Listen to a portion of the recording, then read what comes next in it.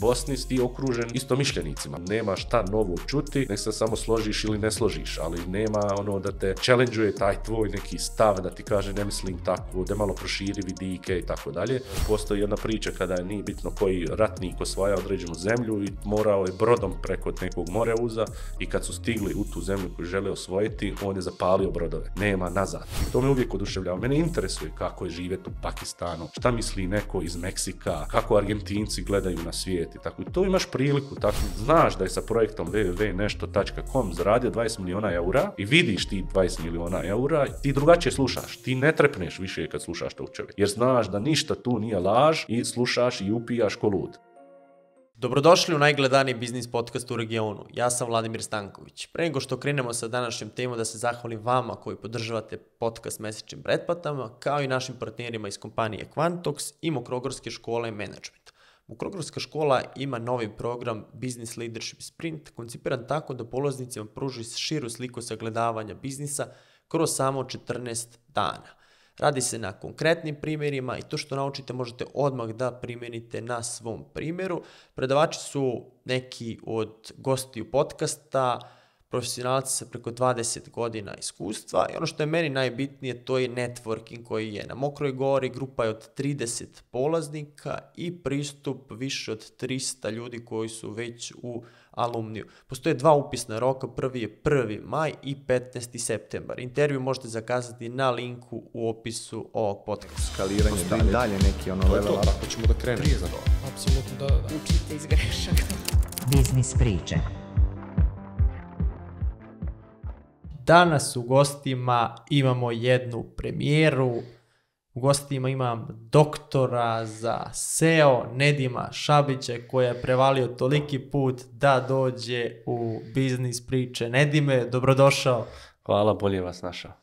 Jesam lepo rekao, doktor za SEO. Kad neko kaže SEO, kaže tu je prva asocijacija Nedim. Pa ne znam, to drugi trebaju da utvrde. Ono, nekad je doktor na ovom teritoriju Balkana i ono malo dvosmisleno, ali onaj, što se tiče toga, neka ljudi ocjene ko to zna, ko to ne zna, praksa pokaže, a eto, drago mi je da sme ti tako nazvao, ne laska u tom smislu, ali drago mi je da tako vide mnogi ljudi i to je potvrda da ono što sam radio proteklih par godina vezano za naše tržište imalo nekog efekta, neke koristi i to je odlično, sviđam se to. A imaš vala šta da i pokažeš i šta si radio, pa ajmo da krenemo čisto neki uvid i uvod, uh, gde si ti rastao, gde si to pekao taj zanat, završio si fakultet u Nemačkoj, tu si prve klijente dobio, ćemo da krenemo te neke priče. Pa može, ajde, ukratko ćemo, dakle, sa nekih 16 godina sam počeo da pravim web stranice i nekako već tada zacijenio to što sam napravio i taj prvi klijent je imao, on sam građevinska firma, imali neke internacionalne klijente koji su im tražili stranicu, ja sam napravio i vrlo brzo nakon toga otkrijem uh, affiliate marketing. Tada je iz Bosne bilo moguće samo za Amazon raditi, Clickbank me je odbio, a Amazon je tada prodavao sam knjige. I šta smo mi osmislili? Osmislili smo stranicu na kojoj možeš kupiti sve udžbenike za određeni smjer na fakultetu. Znači, studiraš na nekom od američkih fakulteta, smjer taj taj, godina taj ta i imaš dugme, kupi sve knjige koje mi trebaju. I tako smo krenuli. I onda je bilo, naravno, treba platiti neke reklame, tada na Alta Visti, na Yahoo, nije bilo mogućnosti da mi to što platimo. Niko nije imao kreditnu karticu, niti su se primali te bosanske koje je imao, tako da je ostao samo SEO.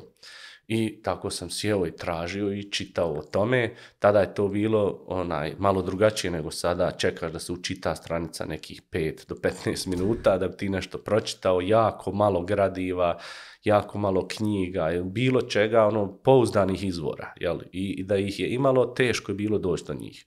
Bila je jedna knjiga od Aaron Walla, zvao se SEO Book, ja mislim da ta domena dan danas postoji, seobook.com. Knjiga je koštala nekih, ne znam, 100 dolara, ja bih nju rado kupio, ali ne mogu.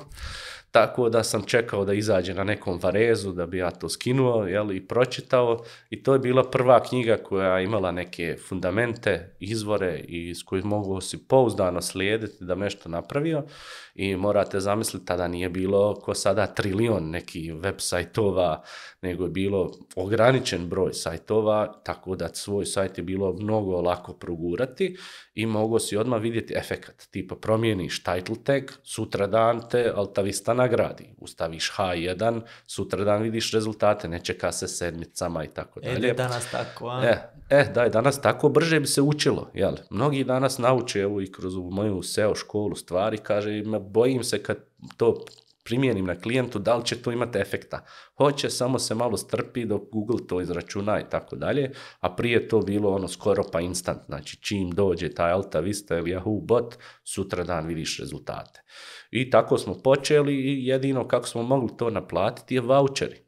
Dobivali smo Amazon vouchere i s njima smo onda kupovali knjige i plaćali poštarinu do Bosne. I zapravo ja sam afilijetom samo zarađivao da kupim knjige koje ću onda čitati onaj, da bi napredovao. I tako je to sve krenulo. Jel? I kad sam došao na taj fakultet u Njemačkoj, jako skromno sam živio, morao sam svaki dan raditi. Prvo sam se zaposlio u e, radio sam software testing za neke e, specijalne softvere koje su oni radili i pomagu tu i tamo gdje sam mogao ovim software inženjerima oko nekih algoritama i tako dalje, dok nije prvi put, kako kažu u Bosni, upušilo da dobijem SEO poziciju u jednoj agenciji i prvi klijent kojeg sam dobio bio ogromna firma imenom ThyssenKrupp, koja je najveći proizvođač čelika na svijetu i proizvođač liftova.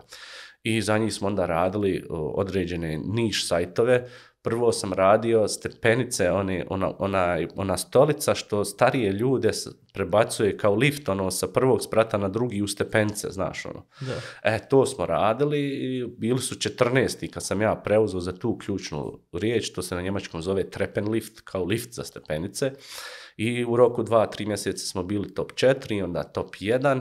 Kako si to postigao? Šta se tad u tom trenutku radilo? same osnove, znači nije ništa bilo ono vanredno, nešto posebno, znači poslužiš on-page faktore kako treba, što je tada značilo title tag, meta description H1, onda ta optimizacija teksta već tada na neki VDF, IDF i onda backlinkovi, backlinkovi, backlinkovi i dok ne proguraš. Tad su prolazili ono najbezvezniji backlinkovi E koji se možeš zamisliti. kupovalo tada? Tad nije. Tad se organski radilo po forumima, recimo imaš seniorske forume gdje stariji ljudi koji više nisu pokretni se druže i tu onda postaviš komentar i taj link nije bio samo link, nego se i kupovalo preko tog linka. Oni su bili zahvalni na toj preporuci, nije to bio spam u, u, u smislu korisnika. Jel? I tako smo gradili linkove, gradili i dok ne izgradiš. Jel? Konkurencija je vrlo malo radila i kad smo mi zauzeli prvu poziciju, onda su i oni angažovali SEO agencije, onda je počeo jedan mali rat. Tad, sada, u trenutno Njemačkoj, to je jedna od najkompetitivnijih niša, upravo taj Treppenlift, te stepence, jer je užasno skup proizvod, velika je marža i oni su, dakle, u tom trenutku imali veliku, veliku prednost kroz to. I nakon toga je slijedili su neki drugi klijenti, neke druge agencije i pređem u agenciju. Sve to kao student. Znači idem poslije stud, fakulteta, idem u agenciju, radim SEO i dobijem da radim neki ogromni sajt, zove se rechtsanwalt.com, u prevodu na našem advokati.com. I to je sajt koji je imao nekoliko hiljada advokata, puno kategorija, podkategorija po specifičnosti pravnog područja za koje su specijalizovani, po gradovima, po dijelovima gradova, po selima, znači vrlo, vrlo veliki sajt, dok ovaj za ThyssenKrupp je bio ono, kako rekao, product landing page sa par podstranica i tu se prvi put nalazim u takozvanom neobranom grožđu. Treba sad to, znači, složiti, napraviti neku strategiju. Tu sam ispekao zanat na tim velikim stranicama, isprobavajući. Mislim, i vlasnik agencije je bio svjestan da ja to nešto znam, ali da nisam nikad radio tako nešto veliko. I na svu sreću ja sam prvo razmislio pa radio, tako da svaka mjera koju smo implementirali je imala efekta i taj portal je kroz te SEO e, stvari koje smo implementirali postao vodeći portal, imao je velikog konkurenta uh, što znači advokat.de i prešišali su i putem SEO-a tada i onda su pitali ko je taj mali, šta to tamo radi i tako. I onda završim fakultet i rekao, ja sam poželio Bosne. Izvini, koji fakultet si završio tamo? To je takozvani informacioni dizajn. Znači, prvo sam studirao informatiku na klasičnom univerzitetu u Stuttgartu, malo prije sam ti rekao, od preko 500 studenta samo šest je završilo tih pet godina. To je kao neki najteži ETF koji možeš zamisliti. Ja sam dvije godine odrapao tu, naučio sam stvari koje su mi itekako valjale u životu, ali on dosadno mi je bilo, jednostavno nije malo dodira s ovim što ja hoću da radim, affiliate marketing, SEO, email marketing, nije toga bilo, bili su algoritmi, programiranje, programski jezici, a na ovom fakultetu si ti zapravo učio da budeš neki dolmečer, prevodioc između programera i dizajnera, što znači da si morao znati odlično dizajn, UI dizajn, grafički dizajn, web dizajn, sva područja dizajna i naravno programiranje. Mi smo se ono bazirali na tom, tom drugom fakultetu, na PHP,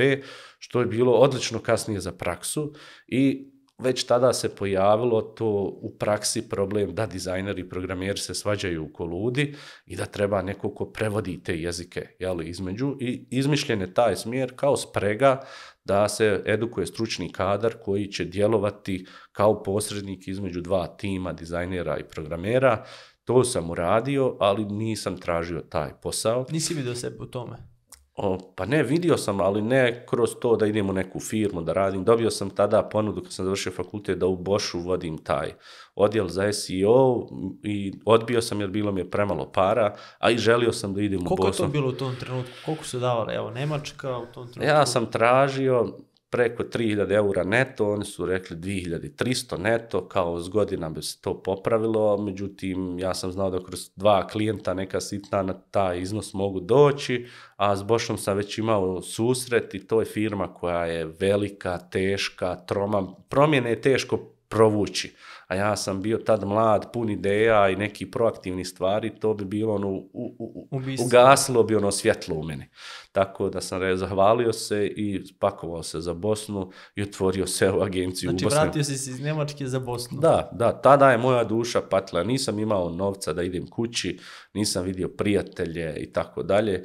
I ja rekao, ode ja sad u Bosnu i onda sam bio u Bosni i shvatio da to baš nije najbolja zemlja za mene da živim u njoj. Nakon što sam sve moguće isprobao, znači otvorio sam nekoliko firmi, napravio sam nekoliko priča, završavši s tim da sam u Travniku koji je gradić od 80.000 stanovnika napravili coworking space gdje su svi rekli ti si lud, ko će u Travniku da ide u coworking space, pa je to prelaslo u edukacioni centar i preko 280 ljudi je se tu edukovalo unutar jedne godine i sad sa tvim mladićima, znači najmlađi član je imao 13 godina, najstariji 55.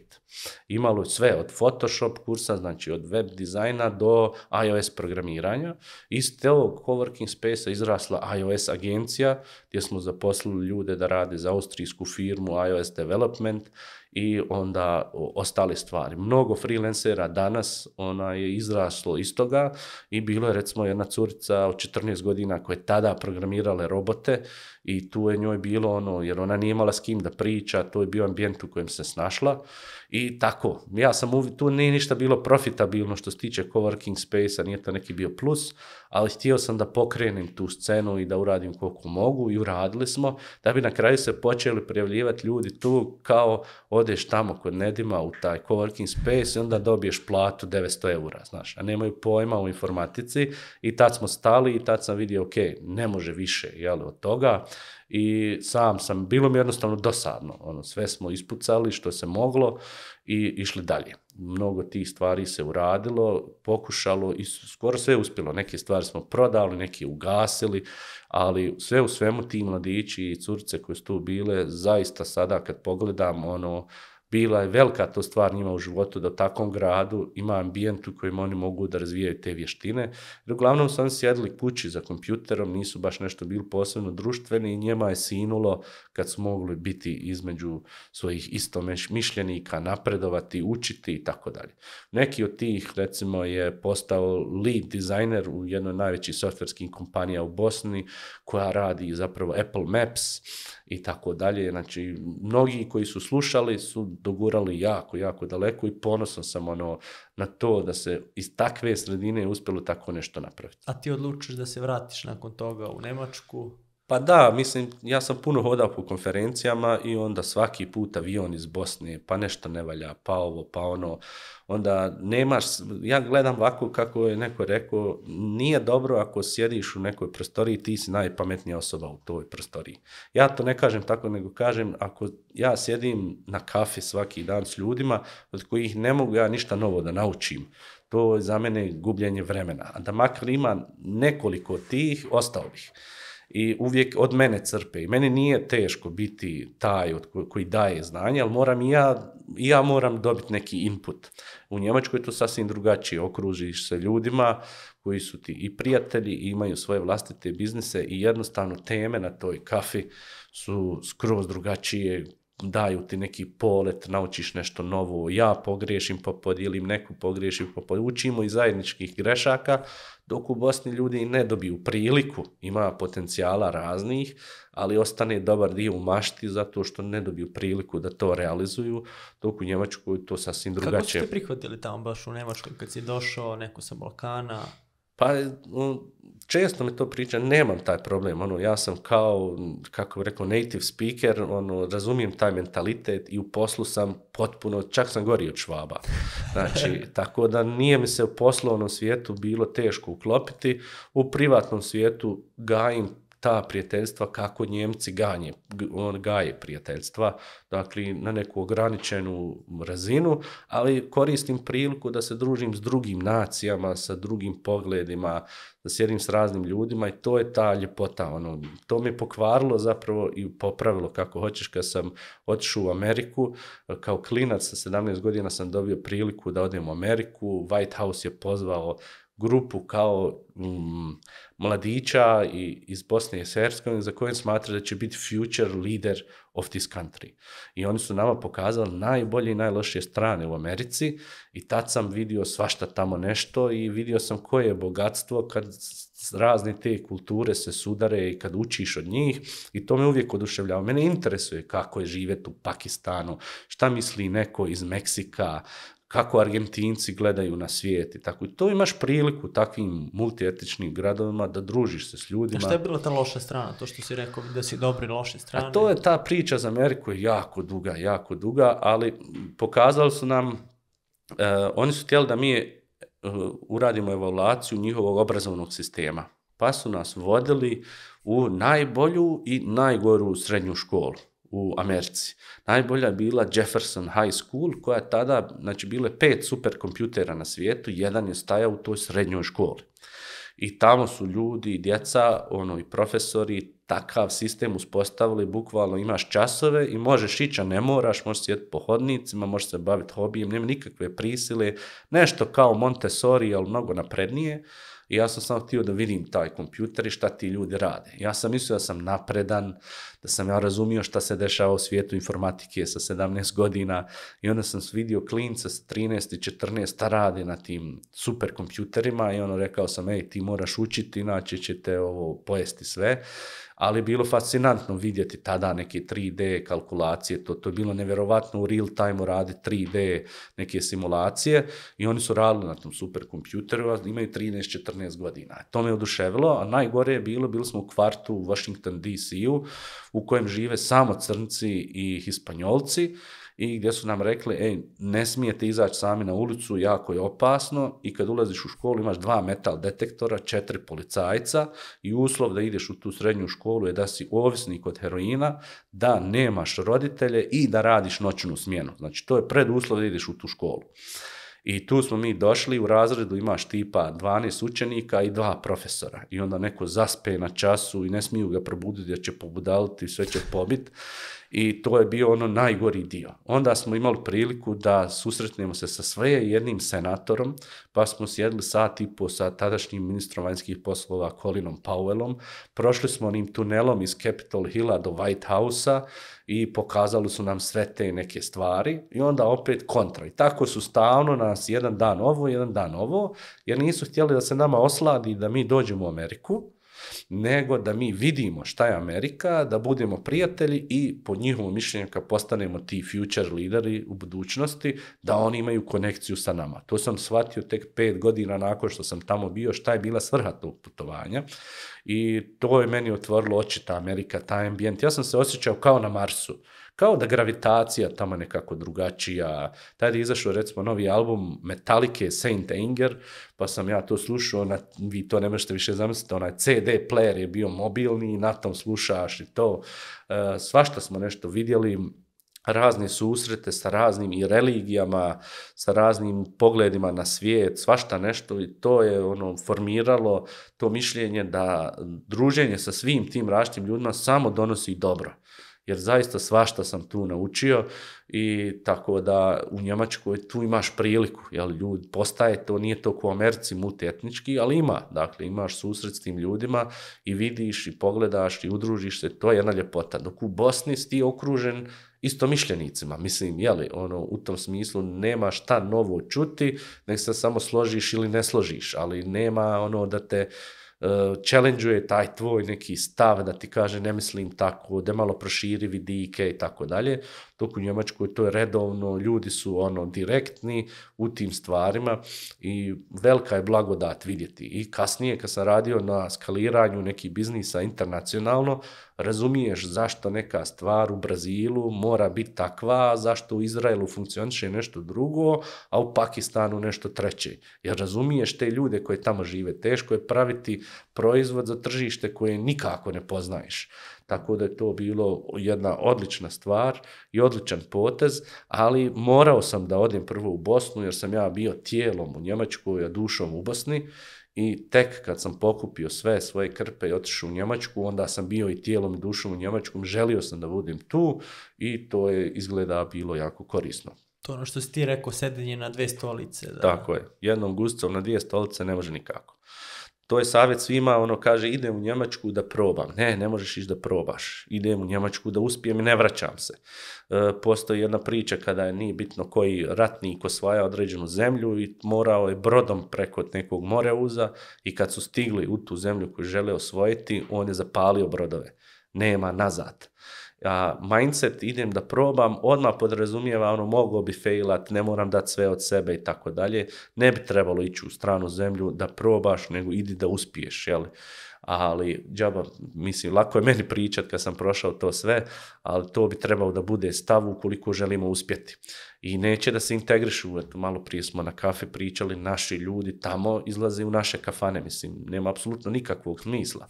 Zašto si tu došao, jel, ako ćeš se družiti s našim ljudima, da idi živi među našim ljudima, ono, drugo je privatno i to, ali non stop biti okružen našim ljudima, nemaš onda benefit toga, ne možeš napredovat ni u karijeri, ni u poslu, niti ćeš upoznat, mislim, te ljude, neš nikad upoznat nekoga ko ovde, znaš, neko radi u opštini, neko je advokat, neko, svi ti ljudi ti nekad mogu i zatrebati, jel? Ti nemaš te konekcije jer izbjegavaš stalno se s našim ljudima, a nažalost naši ljudi i dalje su prevladava ona generacija koja je šla prije 30-40 godina, koja sada i dalje nije nešto prosperirala, jel, ima dijelić ljudi koji su napravili neke velike stvari, ali uglavnom se svodi na radničku klasu. I čekaju da se vrate, do, to jest da dođu u penziju da bi se vratili. Pa da, to tako oni sebe lažu, ali uglavnom na kraju ne idu nazad. Zašto? To je najgluplji potez. Kad si star i treba ti bolnica, doktor, neka njega, pa nećeš ići u ove naše zemlje da dobiješ tu lošu uslugu. Valjda si radio čitav život da te onda u Njemačkoj njeguju, paze, da dobiješ tačne dijagnoze i to. Baš u tom trenutku kad ideš u penziju, glupo je se vratiti iz zdravstvenih razloga. Tamo si plaćao čitav život neke doprinose za odličnu zdravstvenu njegu i ti onda ideš da te liječe naši doktori koji uglavnom nisu toliko kompetentni kao njemački doktori. Mislim, nema nekakvog smisla i mnogi naprave i kuće i to, nikad se ne vrate. Jaki, jako mali broj oni koji proveo 30-40 godina u Njemačkoj da se vraća bilo gdje, ono, ostaju tu. I onda kad vrate se, zovu i oni lokalci, švabo, ne mogu se ponovo integrirati, imaju neki naglasak, jednostavno ne osjećaju se kao kod kuće. Nije to kao prije 30-40 godina kad su oni otišli, niko ih više ne zna na ulici, odselili su njihovi vršnjaci u druge gradove, u druge zemlje. To je jedna mašta koju oni slijede i misle da će to biti tako, međutim na kraju često ne bude. Ti kad si se vratio u Nemačku znao si da ćeš da radiš SEO, jesi razmišljao možda šta drugo može da radiš pored toga ili si bio 100% za SEO? Pa nisam nikada u zadnjih tih par godina sebe vidio kao SEO klasično, znači ja uvijek počnem od toga zato što je to najprofitabilniji kanal, jel, nemaš troškova, pravih, direktnih troškova, benefit je ogroman, recimo ako gledamo u e-commerce SEO je uvijek treba biti kanal broj jedan preko kojeg dolaze i prom, najveći promet i najveći profit, a s druge strane SEO je uvijek glavni kanal preko kojeg dolaze novi kupci. Tako da SEO je nezamjenjiv u tom e-commerce a ja sebe vidim kao neku vrstu vatrogasca, znači firme te velike enterprise firme zovnu da im posložiš čitav taj odjel digitalnog marketinga. Ja sam imao sreću da sam produbio sve jedan kanal taj digitalnog marketinga i da mogu napisati digital marketing strategiju. To je ono zapravo što ja radim. Mene zovnu firme, ja napišem strategiju. A šta je to strategija? Ajde nam objasniš. Pa svaka firma ima neke kratkoročne, srednjoročne i dugoročne ciljeve koje i naravno vlasnici ili uprava, zavisi od dioničko društvo ili ne, imaju svoje neke personalne ciljeve. Ti ciljevi su naznačeni na papiru i uloga firme je da ispuni te ciljeve. Ja, neko hoće da mu skoči vrijednost na berzi, neko hoće jednostavno da ima više prometa, neki vlasnici, kad je manje vlasnik, hoće samo da se nabije profit i tako dalje. I svaki ima svoje ciljeve i stavimo na papir i krenemo od cilja. Ok, kako to postići i uglavnom se to vrti sve oko profita. Kako da taj biznis postane sve profitabilniji i onda se ta priča spušta na marketing kanale. Imaju marketing kanale koji već koriste, imaju marketing kanale koji nikako ne koriste i na bazi puno podataka, jer te velike firme imaju veliki količinu big data, akumuliranog, a ne povezanog. Uglavnom je to svaki kanal za sebe, nikad i nisu uspjeli povezati jer nemaju vremena, nemaju pregled, nemaju ptiču perspektivu. I moj zadatak je da aktiviram neaktivne kanale, da popravim ove aktivne i kad sve to postane aktivno i jako uspješno, onda između sebe povezivat da se to diže, jel da se još diže profit i interakcija između tih kanala. Tako da jedan po jedan odjel pospremam, krenem uvijek sa SEO odjelom jer je najveći potencijal, pa onda idemo na Facebook, Instagram, TikTok, pa onda LinkedIn, zavisi sve od biznisa koji je u pitanju, email marketing, mnogi nemaju svoj affiliate program pa ga uvedeš i tako dalje. I radiš na tome da objediniš sve te marketing kanale u jednu smislenu cjelinu, da korisnik kroz iskustvo kupovine kaže joj, je ovo dobro, ja želim ovdje kupovati i tako dalje. Pogotovo za priče, kao recimo radio sam za dosta onih koji recimo samo posluge, gdje ljudi kupuju na sedmičnoj bazi ponovo ako su zadovoljni. Jel? I na tim stvarima možeš mnoge, mnoge stvari uraditi i to rijetko ko ima. Svaki je specijalista za jednu stvar, e, neko još sebi priušti luksus da nauči dvi, tri druge stvari, ali rijetko ko iz perspektive od ozgo razumije cijelu priču iz jednog drugog aspekta. To je ovaj preduzetnički. Dakle, ja sam sad, oprosti, u, otvorio sedam firmi u četiri zemlje tokom svog života. Dan danas imam svoje e-commerce biznise, imam svoje digitalne proizvode, ne odustajem od toga, gajim uvijek stalno, pored klijenata, radim neki 30% vremena na svojim projektima, ostalo za klijente. ja razumijem šta znači iz ugla tog vlasnika, iz ugla tog poduzetnika, pa i čak nekog inovativnog starta, pa šta je njemu sad bitno i zašto on to želi.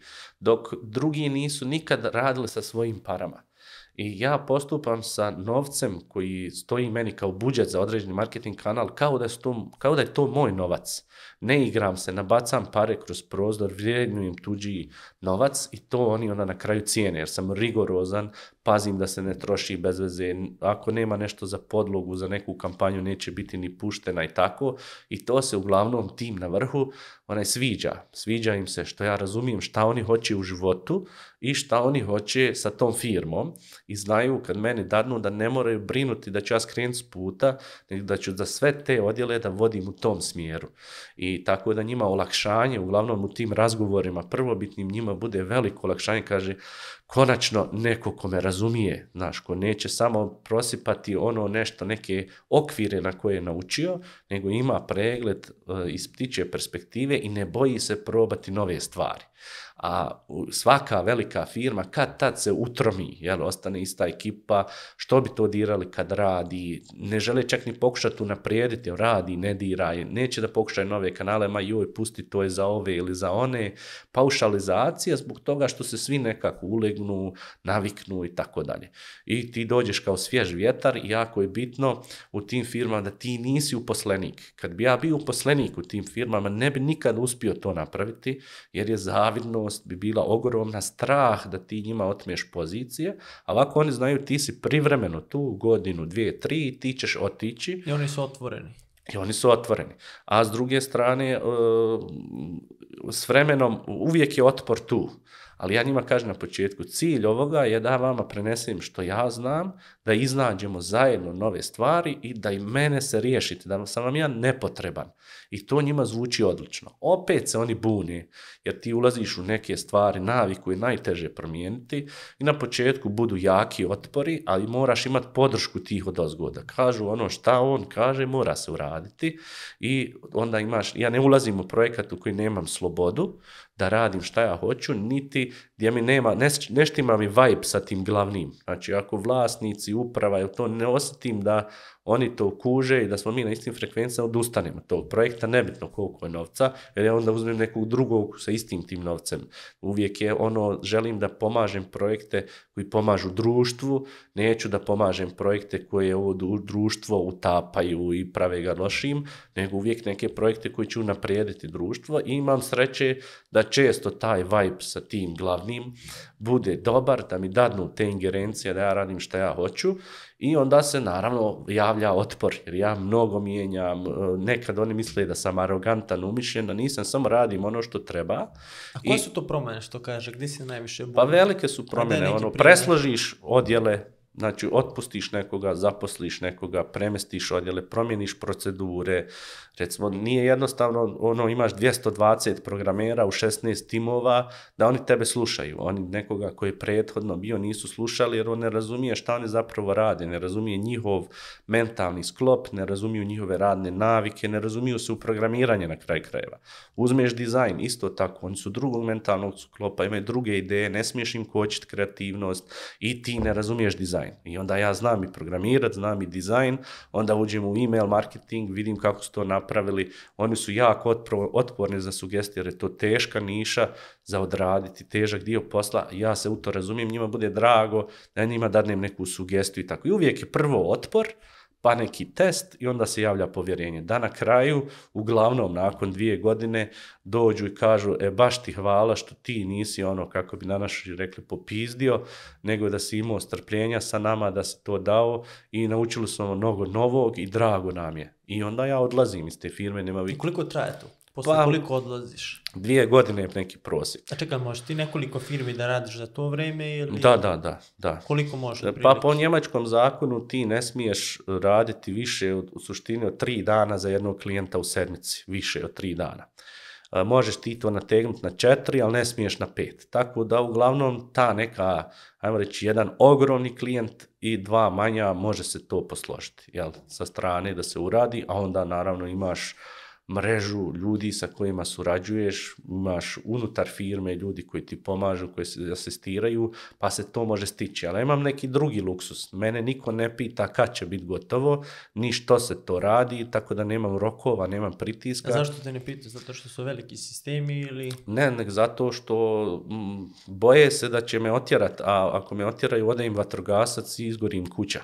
Jeli, zbog toga. I onda i neke stvari koje predložim njima nisu logične, ali kažu, ok, ako je rekao Nedim, nek bude to tako. I onda ono čekaju kao, e, da vidimo šta, kako će se sad to pokvariti, kako će Nedim past na nos.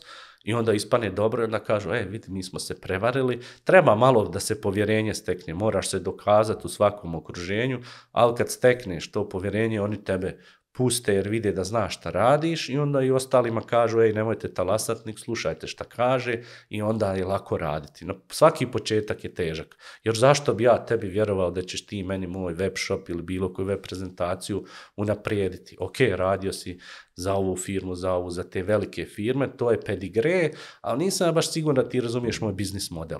Razumiješ? Znači, nije dovoljno da imaš deset ogromnih firmi u portofol, portfoliju, nego je bitno da se dokažeš na tom jednom projektu. Kako ti njih razuveriš na tom prvom razgovoru ili ne znam, na Ne. trećem razgovoru? Nikako mora da se krene da bi... Ne, oni zovu zato što im drugi CEO rekao da sam im pospremio firmu. Znači, bitno je samo taj prvi je ključni klijent, veliki, A ogromni ko je tebi klijent. bio taj prvi? Pa, davno je to bilo. Evo, ThyssenKrupp može se reći da je bio, da je bio prvi, jeli? ali ono, baš ogromni klijenti su bili, o, Porsche je bio jedan od prvih gdje je jako bilo puno toga, a najveći, kako najveće zadovoljstvo imala firma Reve, koja je druga najveća samoposluga u Njemačkoj, imaju 3800 filijala, imaju dostavu širom Njemačke i gdje online shop vrti ogromne pare, imaju 330.000 proizvoda i tu sam bio i pospremio i CEO je bio prezadovoljan tako da je on samo na jednoj večeri rekao je bio mi jedan mali, pospremio mi je marketing i svi su pitali ko je taj i sutra dan ja vidim, dobijam pozive od nekih ljudi, javljam se CEO ovoga, CEO onoga i ne možeš da vjeruješ i tako to krene. I onda ako još jednog od tih koji su nazvali uradiš kako treba, gotovo nema to kraja, onda si poznat. A s druge strane, ja po konferencijama hodam u Njemačkoj, znaju za koga sam radio, tako da samo hiperkompleksni velike stvari se javljaju i recimo najveći shop u Njemačkoj ima 17 miliona proizvoda i ja sam radio na njemu.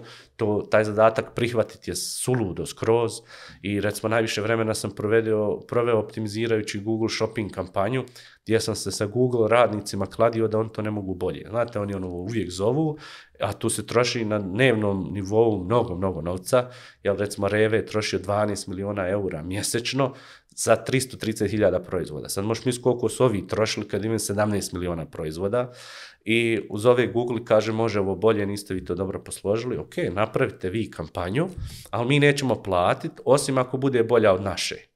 I oni su napravili i uvidjeli da oni sami to ne znaju bolje napraviti i odustali su, onda su počeli da mene pitaju zašto ste vi to tako posložili, zašto to uopšte šta si ti to funkcioniše. posložio? Pa, To je jako kompleksno. Mislim da to baš za biznis priče nije, to je za neki, e, e, neku Google Ads konferenciju za eksperte da bi oni razumjeli uopšte šta se tu radilo, ali e, hoću reći ti, kad uradiš to u određenim segmentima sa tim shopom prošišaš Amazon, pogotovo ima u Njemačkoj veliki price comparison engine, zove se Idealo, preko kojeg uglavnom ljudi saznaju koji žele proizvod, idu na Idealo da vide gdje je najjeftinija Jeftinija. cijena. I tu smo mi imali više prometa od Amazona. I to je šokiralo onu širu javnost da neka firma koja je ma, hiljadu puta manja od Amazona uspije imati više prometa nego oni. A su bili jeftiniji ili... Da, da, da, bili su jeftini, imali su neke strategije kako da izvuku te pare, nekad se išlo i u minus, da se bude bolje od Amazona, a sve u svemu je bio profit. Jel? I tako da to su stvari, ono, kad ispričaš na konferenciji kako sam ono, preš, prošišao Amazon na idealu, nakon toga siđeš s bine i 50 ogromnih firmi želi isto to da ponovi. Jel? Je li to recept za business to business kad radiš sa velikim klijentima, kako da se dođe do velikih klijenata? Ne znam koji je recept. Ja mislim da je iskrenost, direktnost, stručnost, a da sve to možeš baciti u vode ako nisi radoznao. Znači da bi ti uopšte se osudio ući u neku firmu i nastupiti tako samouvjereno, ti moraš biti jako radoznao, imati jako puno, dakle, tog backgrounda. Jer ja evo sad ukupno 20 godina se tim bavim i svaki određeni kanal sam se bavio sa njim najmanje dvije godine. Interesantno, recimo, kad se pojavilo Facebook oglašavanje u Njemačkoj, ja sam bio među prvima koji se bavio uopšte tim, ljudi nisu znali da to uopšte postoji. I onda sam na jednoj konferenciji ispričao, umjesto da šutim, da koristim tu konkurentsku prednost, ja sam izašao i svima pokazao kako se to radi, ali ne samo da to postoji, nego detalje kako možeš izvući novac. Ljudi su dan, danas zahvalni na tome, neki su izgradili firme na osnovu tog predavanja. Jel? I nikad nisam bježao od toga jer volim da ljudi širi, da se svega diže nivo, da dođemo na nivo koji smo otprilike sad i možda još više, da i svijest u tim upravama, u direktorima poraste, da su spremni da ulože, da rade na tome i mislim... Da zajedno rastemo. Tako je. I to je uspjelo, jeli? A mislim da vidi se jednostavno i ti ljudi koji su uspjeli, koji su napravili ogroman novac, e, ne možeš ti njih slagat vezano za biznis. On vidi po tvom pogledu, po nekim tvojim mimikama, gestikama, da li ti fejkaš antiliju mekaš ili razumiješ ti ono stvarno znaš šta pričaš. Ti si u tom biznisu sad, koliko se dešava takvih situacija da se pojavi sad neko koji je pretvara se tu, priče su, sad imamo i društvene mreže gdje se priča, mi smo i veliki klijenti, i skupi, međutim kad se malo zagrebe površina, ne možeš da nađeš ni klijente, ni... I onda vidiš da je to neka priča, neki hype, međutim da nema nikakvog po- pokrića. Koliko se sa takvim situacijama susrećeš? Pa, zavisi koja je zemlja u pitanju. Mislim da je to u Njemačkoj jako teško. Ali recimo u Australiji vrlo jednostavno. Zašto? Pa zato što su, takvi nisu striktni. Mislim, noćna mora svih programera ovog svijeta je rad za, za švabu klijenta. Jer to je ono, prije nešto kreneš rad, dobiješ 60 stranica šta kako treba i onda krenaš i provjerava desetine ljudi to što si ti uradio. Recimo u UK su mnogo lakše se pristupi klijentu i tako dalje. U Americi je ono, kako kažu, laissez-faire, pusti ono neke ideje da vidimo kako će to završiti, daj nam energiju, boost, taj napravi dio, a u Australiji je ono, skoro ljudi ništa ne provjeravaju, njima je bitan taj hype, neće da se javlja nepovjerenje među ljudi, jednostavno mentalitet tržišta, jeli, Mislim da je u Njemačkoj jako teško glumiti nekoga jer te prosipaju i njima nije ništa nekoga staviti na Facebook i okačiti reći ovaj prevarant, ovaj glumi, ovo. Bio bi glup čovjek u Njemačkoj da to pokuša. Jer, a drugo je ako će u tajnosti da niko ne zna, to A je nešto kod nas kakva je situacija? Kod nas, mislim, mi smo, Balkan je majstor, Lagano, majstori za prevare. Ali ne možeš to zamjeriti, pazi, možda neko ima znanje, jel, ima, ne smije, mislim, ima granica, laganje i, i pretjerivanje. Slagati da se radio za nekog je u svakom aspektu ružno. Ali ako si ti radio nešto i sad malo napušeš priču, to je, mislim, neka balkanska klasika, jel imaš tog jednog klijenta s kojim si nešto napravio, ti bi volio privući druge, ali ti se stalno javljaju neki sitni ili srednji tebe to nervira i ti onda tražiš tom energijom da neko ti nasjedne na tu priču i često se desi, jel? Da, da, da se nasjedne na tu priču i ti ljudi ako znaju napravit će biznis, ako ne znaju osramotit će se i tu je negdje i kraj.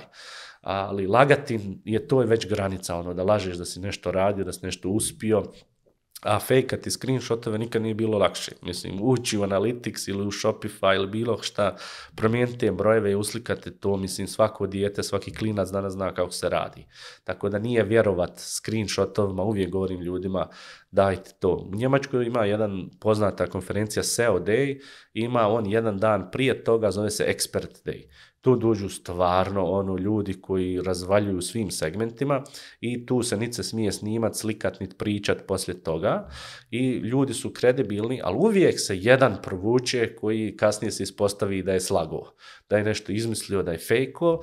I kažem ja organizatoru Fabijanu, daj reko da pravimo prvi slajd screenshot žiro računa i da onda moraš live ući u žiro račun da pokažeš da nije to fake, razumiješ? I kad, velika razlika kad izađe neko i znaš da je sa projektom www.nešto.com zaradio 20 miliona eura i vidiš ti 20 miliona eura, ti drugačije slušaš, ti ne trepneš više kad slušaš tog čovjeka, jer znaš da ništa tu nije laž i slušaš i upijaš ko lud.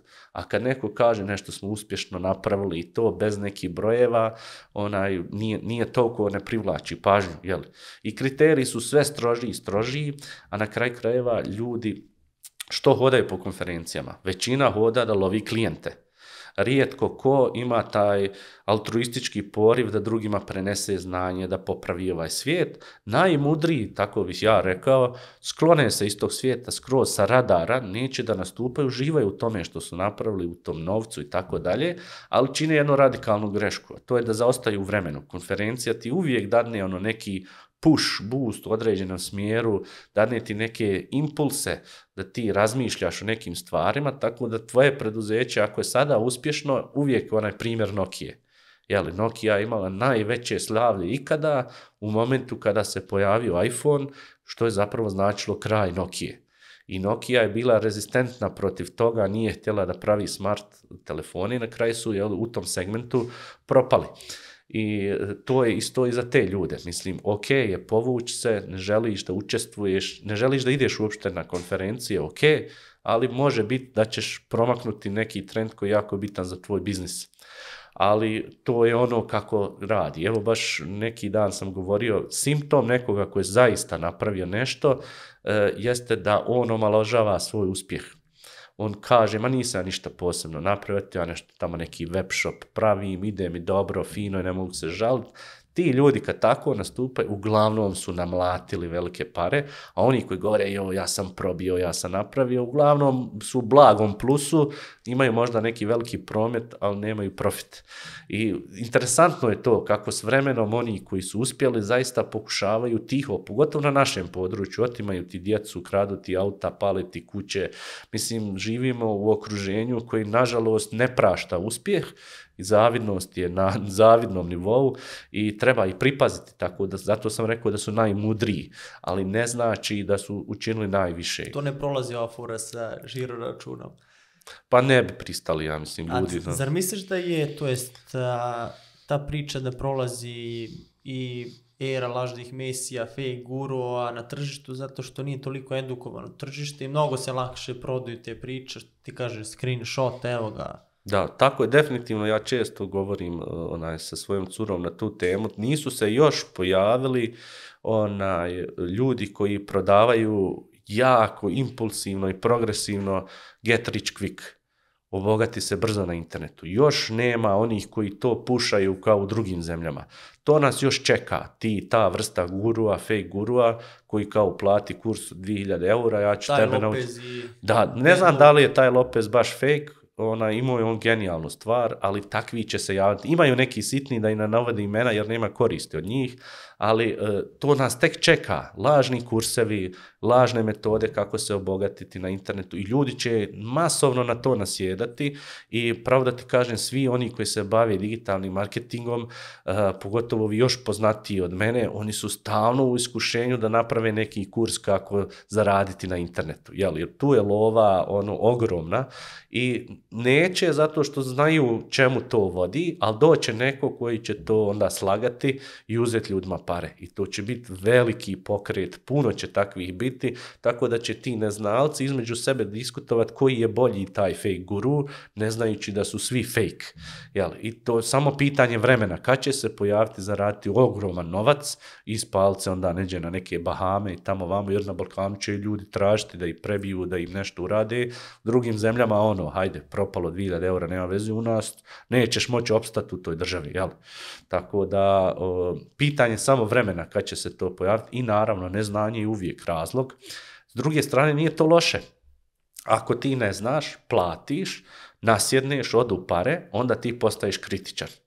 I onda počneš provjeravati reference, čekaš šta ovaj priča dečko, šta priča ovaj čovjek, šta priča ova žena, da li ova firma isti. Po, postaneš, ono, počinješ provjeravati kako si zapravo trebao na početku. Tako da to nije ni loš proces. Zapravo ti fake guru su zapravo odličan mehanizam da se ljudi brzo osvijeste. Oni im brzo uzmu pare, brzo te pare nestanu i onda oni počinju ili odustanu od toga kaže neću ja ništa da ima veze s internetom ili čekaj kako da ja provjerim koji su kriteriji i onda se javi nešto novo gdje razni kursevi, platforme za kurseve procvjetaju u tom trenutku, jer ti fake guru daju podlogu ljudima da idu tražiti pravo znanje.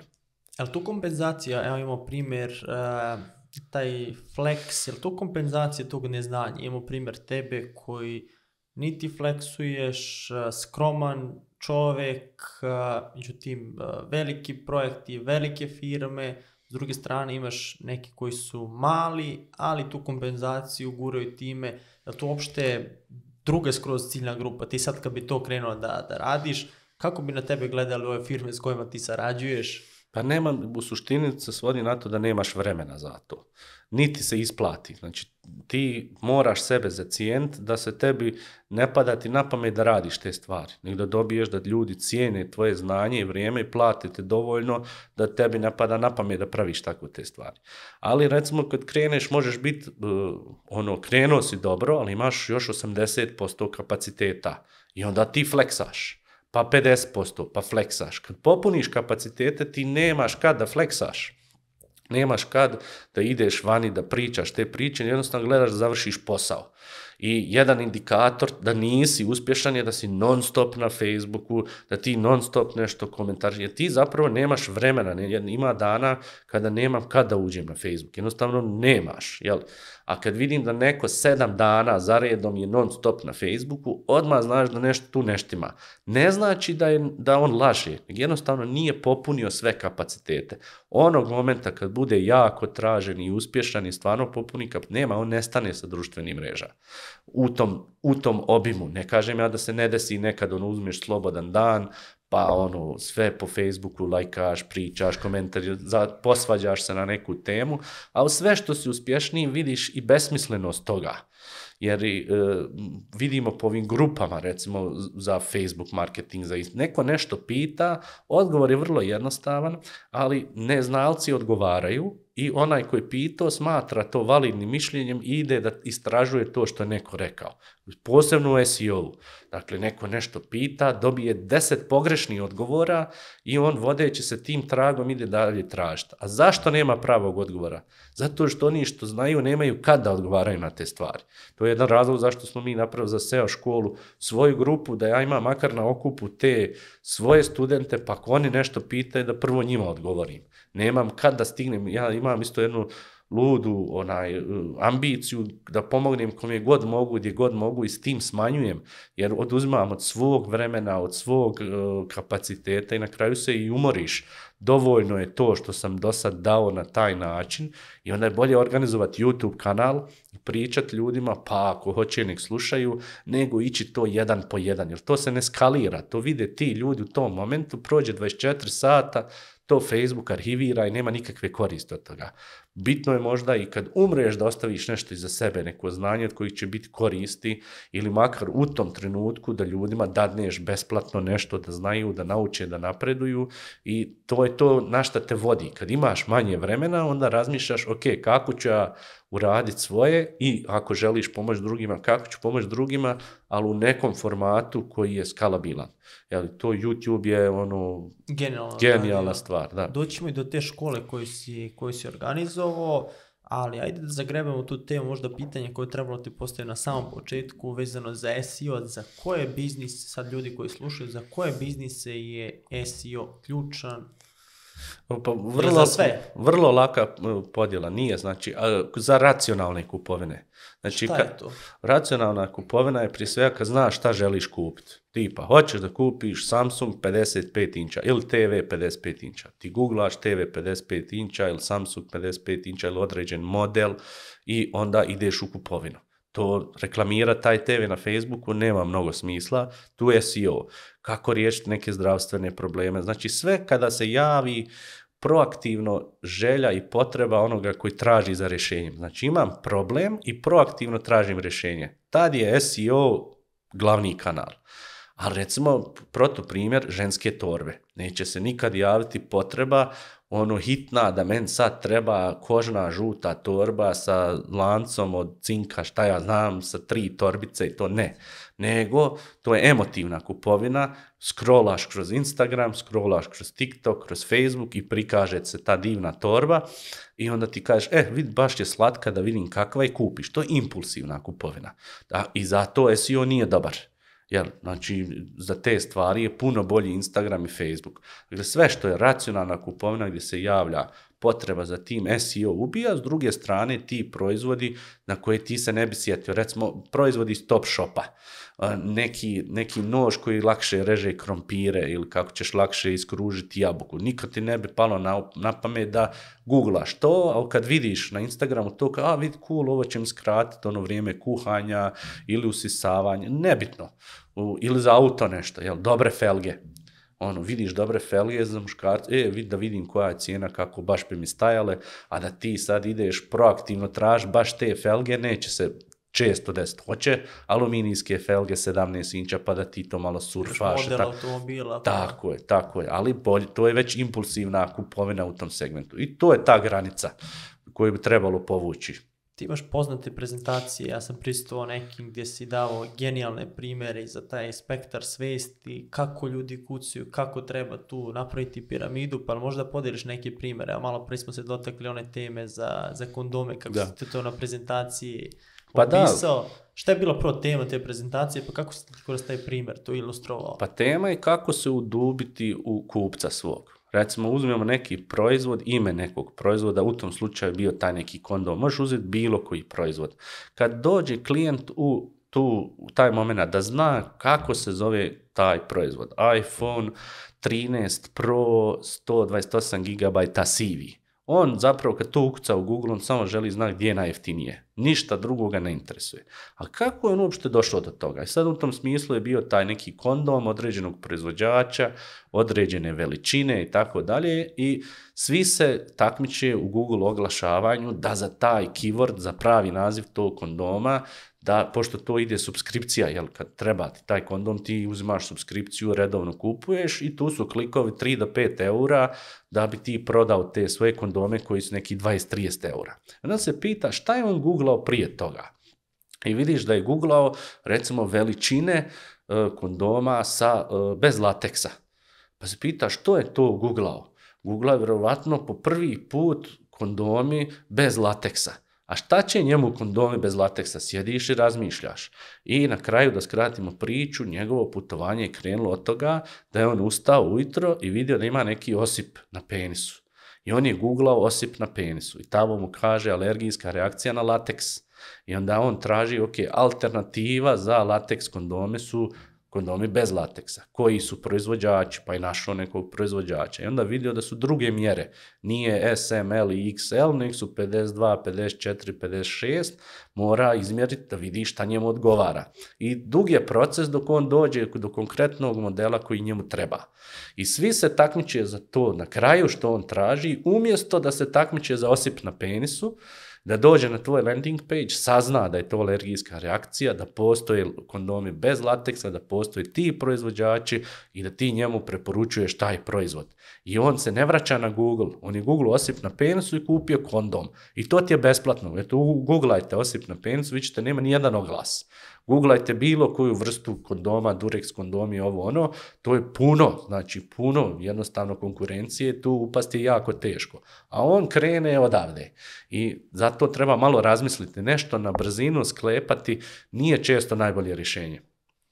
I sad ti kad krećeš, evo imamo primjer možda web shopa, krećeš danas web shop i kako ti praviš tu SEO strategiju? Da li ako vidimo da ima potencijala prvo za SEO, da li paralelno dok to naravno ne da rezultate, da li puštaš AdWords da radi dok to ne da rezultate ili kako izgleda taj proces? Pro- to je tačno da unaprijed kažem, znači testiraš na AdWordsu da li si pogodio, a prije nego što testiraš da li si pogodio, moraš skrojiti neku strategiju, neku strukturu.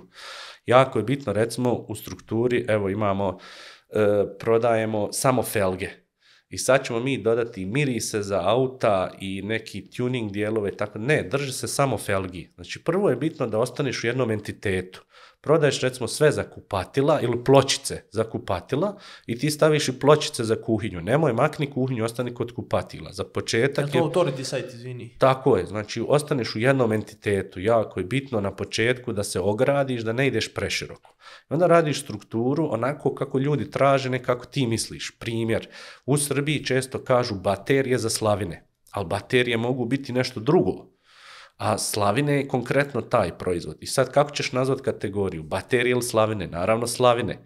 I ne treba preduhitriti. O toj strukturi sajta treba jako dobro razmisliti kako da uopšte glase te stvari, koji su podkategorije i onda se pita ka, šta nam donosi najviše profita, a šta najviše prodajemo. Iz iskustva do sada, recimo, imao je neko offline shop, koji proizvodi, koja kategorija, koja podkategorija najbolje išla, pretpostaviti je da će online isto biti i onda na osnovu toga e, poredamo te stvari u, u, unutar tog šopa. I kada smo ih poredali, onda možemo testirati.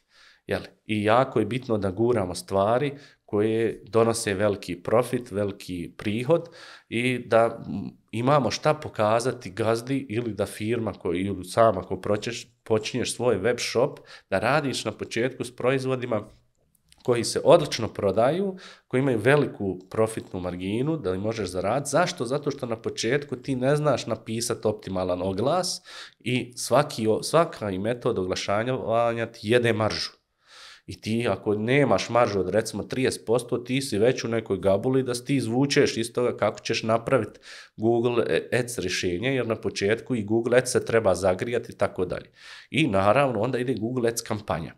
I Google Ads kampanja će dati različite rezultate. Ček, to bismo samo ljudima koji ne znaju šta je Google Ads. Pa to su oglasi na Google, znači kad pretražujemo određenu ključnu riječ, Google dadne tri plaćena rezultata i onda organske rezultate nesrazmjerno više ljudi klikne na organske zato što su svjesni da je to gore reklama i jedan dijelić ljudi klikne na gore. Pita se koliko posto ljudi to. Svaka ključna riječ ima drugi postotak. Ne postoji uopšte neka, neka cifra da kažeš to je 30, 70, to je 10, 90. Sve postoji. Od 0, 100 do 100, 0, sve postoji. I sad u tom oglašavanju ti ćeš vidjeti, ok, za određene ključne riječi, e, troškovi ne pojedu kompletnu maržu, što znači profitabilni smo i onda ostavimo to da radi i dalje. Međutim, nešto drugo pojede profitnu maržu i to moramo ugasiti. Ono što je profitno kažemo da je pozitivni ROI, ono što nije profitno je negativni ROI. I onda imamo drugu pokazatelj, to je conversion rate. Koliko ljudi od tih koji su kliknuli su na kraj kupili. Izuzetno bitan podatak. I sad ako imamo dobar ROI, pozitivan, veliki conversion rate, to ćemo naravno ostaviti upaljeno. Ako imamo negativni ROI, ne isplati nam se šaltati oglase, ali imamo veliki uh, conversion rate, zato radimo SEO primarno.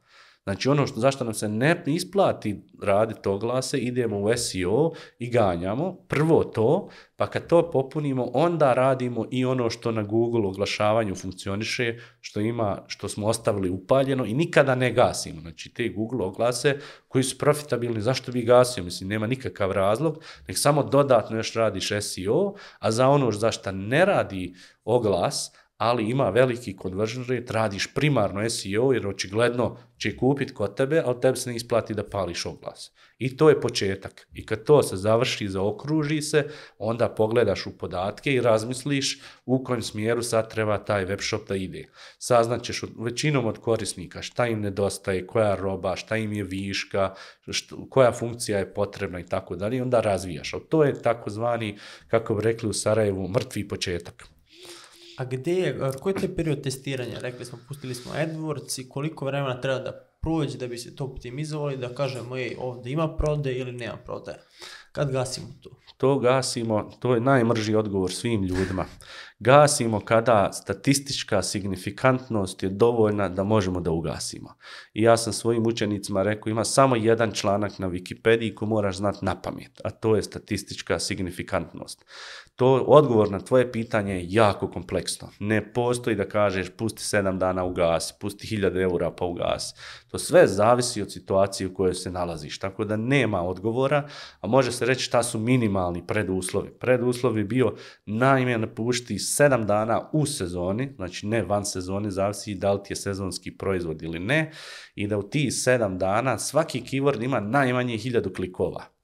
E sad koliko je to para, to zavisi od niše. Negdje je to 100 eura, negdje je to 100.000 eura. Sve zavisi od toga u kojoj si niši. Ali bilo kakav zaključak donositi na osnovu nekog keyworda, a da on nema hiljadu klikova, To je ono donja granica, ono da si blesav, znači nisi dobro uradio i sedam dana. Znači sedam dana full pustiš, jer neke stvari se prodaju samo vikendom, neki samo utorkom i tako dalje. Čudno je tržište i moraš pustiti najmanje to. E sad koliko novca za to potrebno, sve zavisi od drugog. Ali bitno bi bilo, iako je to teško kad uzmete i taj Wikipedia članak, morate naučiti šta je statistička signifikantnost. Za one koji su malo bolje upućeni, u Google Adsu postoji takozvani AB testing, da uključiš statističku signifikantnost, da on isključi varijantu drugu kada dođe do statističke signifikantnosti.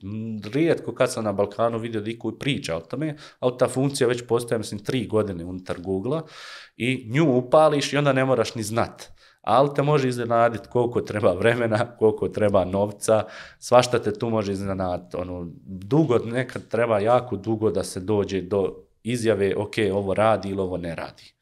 I sad nakon što smo našli šta se pretražuje, šta pravi konverzije, odlučili smo se za SEO. Sad je strategija da nam treba blog uopšte u cijeloj toj priči? Isto sve zavisi, ako neki proizvod treba objasniti, evo uz moj standardni primjer veš mašine.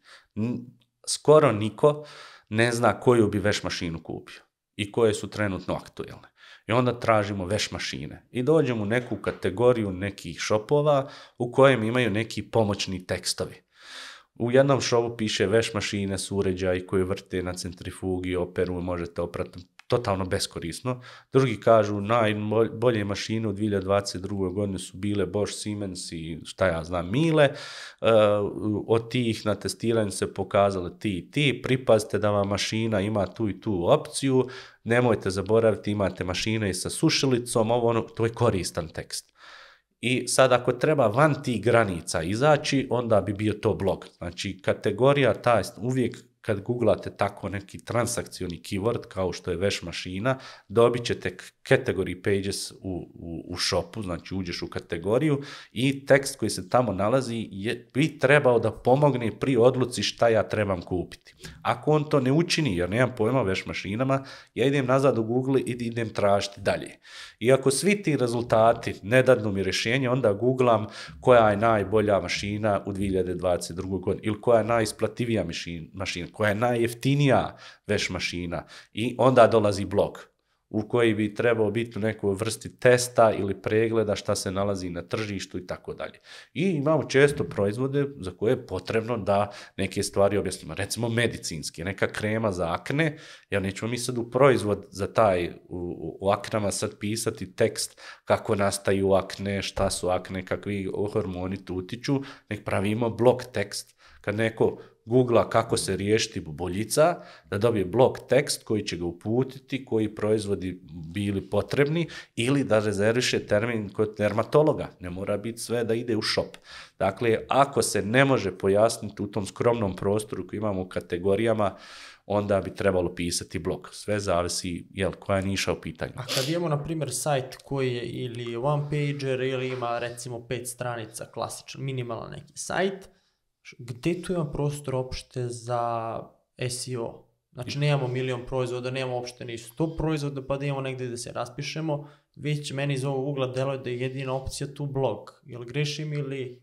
Opet zavisi od proizvoda. Dobro bi bilo, uvijek je dobro ako dođe korisnik, traži nešto i dobije sve na tom jednom, na to jednom, na to jednoj stranici. Da li je to unutar kategorije, da li je to proizvod ili je landing page, product landing page, je apsolutno svejedno. O, Pogledamo na Apple primjer, Apple je to kopirao Top Shopa. Ozbiljno. Da, znači tu strategiju da nako naprave landing page-eve, to je top shop strategija, da se sve živo objasni, da se sve prenapuca, da se sve... Pre... Oni su, mislim, tu savršili nivo na kojim je to izdizajnirano i napravljeno je najveći na svijetu, ali to ta strategija vuče iz top shopa gdje zapravo rješava konkretan problem i one pageri ti su uglavnom neko rješenje za nešto što nam je potrebno. Recimo i bukove kada prodajemo, to je skoro uvijek one pager. Jel, ono, bilo, Da. bilo koje rješenje, to je uglavnom one pager, sve stanem tu i sa SEO stanovišta je čak to dobro. Dakle, mi možemo kroz e, tu količinu teksta da Google dokažemo da smo mi stručnjak u tome. Šta Google kaže? Google kaže sljedeće, da bi nešto se smatrao naučnim tekstom, on mora ispunjavati minimalni preduslov, a to je da se smatra paperom. Znači, naučni paper na univerzitetima ima najmanje 5000 riječi. Znači, preduslov je da ima 5000 riječi. Drugo, da se koriste riječi koji se koriste u tom opisivajući taj proizvod. Ako ti sad tvrdiš da nešto u kosilicama, ti moraš spomenuti i točkove, i držku, i motikultivator, i sve što, što ima u toj kosilici, jer to nije dovoljno stručan onda članak kako si zaboravio spomenuti držku, kako se puni i to sve. I to je ta VDF IDF analiza. Znači tom formulom iz 1967. čiju kontraformulu je napravio Švabo Karl Krac, možeš tačno ustanoviti, imaju alate, preko koji možeš vidjeti šta si zaboravio tematizirati. I ako pišeš više, imaš više prostora da svaku tu stvar obradiš, svaku temu koja je potrebna da doneseš odluku da li to želiš kupiti ili ne. Tako da one pager na kraju krajeva za SEO je super stvar. A koliko ima smisla sad da mi dovlačimo, ok, imamo proizvod, znamo koji su problemi vezani za tu nišu i da dovlačimo čak i ljude koji nisu zagrani za kupovinu, već da im reša, rešavamo neki problem. Evo ti je primjer, meni na primjer za Instagram kurs, uh, imam neki mini blog i napisao sam članak zove se zarada na Instagramu top 10 načina. I to Mm. se pozicioniralo, čini mi se da je prvi ili drugi i to donosi određeni broj posjeta. Međutim, ti ljudi koji kucaju zarada na Instagramu nisu mušterije za kurs. Znači, oni traže neki način, znači nisu niti edukovani, niti imaju novac da izdvoje, već planiraju tek da zarade neki novac. Koliko je to uopšte dobra strategija da njih kasnije zagrevamo, iako dolazi dobra publika, dobro u smislu količine, ali nije ciljna grupa koja je direktno za taj proizvod. U tom slučaju je dobro. Znači, to je odlična podjela tipa na homepage imaš ponudu za kurs i negdje na blogu top 10 metoda kako zaraditi sa Instagram. To Google gleda odvojeno. Da je taj članak o tome ugrađen na homepage gdje ti prodaješ kurs, ne bi valjalo. Zašto? On googla nešto, recimo to, kako napraviti uspješan Instagram biznis i vidi tvoj kurs i izađe i vrati se na Google. Taj negativni signal, znači nije našao što je tražio. A u ovom slučaju on tačno nađe šta je tražio, ti mu dadneš sadržaj i on ode. Koliko će to konvertovati u tvoj kurs, to je do tebe, kako ćeš ti to inscenirati i tako dalje, a u Google to ne smeta. Samo bi mu smetalo kad bi ta dva ponudu i to objašnjenje spoje u jedno, pa bi ovi koji dolaze da nađu dakle, kurs, vide to pa se vrate ili obrnuto. Znači najgori signal, najgori negativni faktor je kad ti neko dođe za, sa Google za određenu ključnu riječ, bude na tvojoj stranci, brzo se vrati, to je najgore. Manje gore je da bude na tvojoj stranici duže, ali opet izađe pa ode kod konkurenta. To njemu govori da treba zamijeniti tvoju i njegovu poziciju. Jer je on nije kod tebe našao što je tražio, nego kod ovog drugog. I kod njega je otišao i vratio se, on nije se vratio na Google, znači riješio je problem. Da li je on sad kupio tamo nešto, da li je našao rješenje za svoje pitanje ili je ga on negdje proslijedio na neku drugu stranicu, nije bitno, ali uglavnom on se nije vraćao više na Google. I onda Google kaže, ok, ovdje je našao rješenje, a kod tebe nije. I onda će vam kad tad zamijeniti poziciju. Šta najbolja situacija da, osim kupovine, kad uđe na taj blog, da nastavi dalje da lista sajt ili da Tako ulazi je. na sljedeće stranice? Tako je, samo sve čini da se ne vraća. Vodi ga u newsletter, daj mu drugi članak, vodi ga na YouTube kanal, bilo šta, ali ne da se vraća na Google. Ako se vrati na Google za taj keyword, to je minus za tebe. Znači, to je smrtna kazna. To je najgore što se može desiti, da. Čak ima ljudi, znači pripremite blog člankom, evo recimo za te veš mašine. Pripremite, kaže, pripazi imaju sušilice ovo. Onaj drugi kaže, Mile i Bosch su puno bolji od ostali. I ti onda odeš na shop neki koji tebi poznat, kupiš tu mašinu. On je pokupio kajmak, a ovi su ti pripremili prodaju. Razumiješ, ti služiš kao pripremni kanal za sve ove, za drugog, nekoga, jel to želiš? Da ti edukuješ ljude, da oni onda kup, ode kup neđe drugo. Jel, do tebe ti si kriv što nisi do kraja dotjerao da on kupi kod tebe. Čak činiš uslugu ovim drugima i on njima ide, prodaje mašina, veze nemaju što. Svi kupuju mile mašine, oni ne znaju uopšte što kupuju mile mašine, a zapravo su web sajtovi prije njih pripremili da kupe te. Jesi ti postavio do sad pitanje, verovatno te smaraju stalno, kako biti prvi na na Google? Verujem da imaš osip na, to pitanje kad dobiješ. Pa nema, u suštini vrlo jednostavno, ima preko 2000 faktora, naučiš svi ti 2000 faktora, provedeš jedno tri godine izučavajući i onda tačno znaš šta treba uraditi i onda to primjeniš u praksi i budeš prvi. Ali ono, nema neki crveno, neku dugme da pritisneš i da to bude. I naravno tih faktora 2000 ima nivelacija. Neki faktor je manje bitan, neki više, a na kraju jednostavno sjedneš, zagriješ stolicu, primjeniš u praksi, vidiš kako to funkcioniše i budeš prvi. Isto kako ćeš biti najbolji futbaler na svijetu.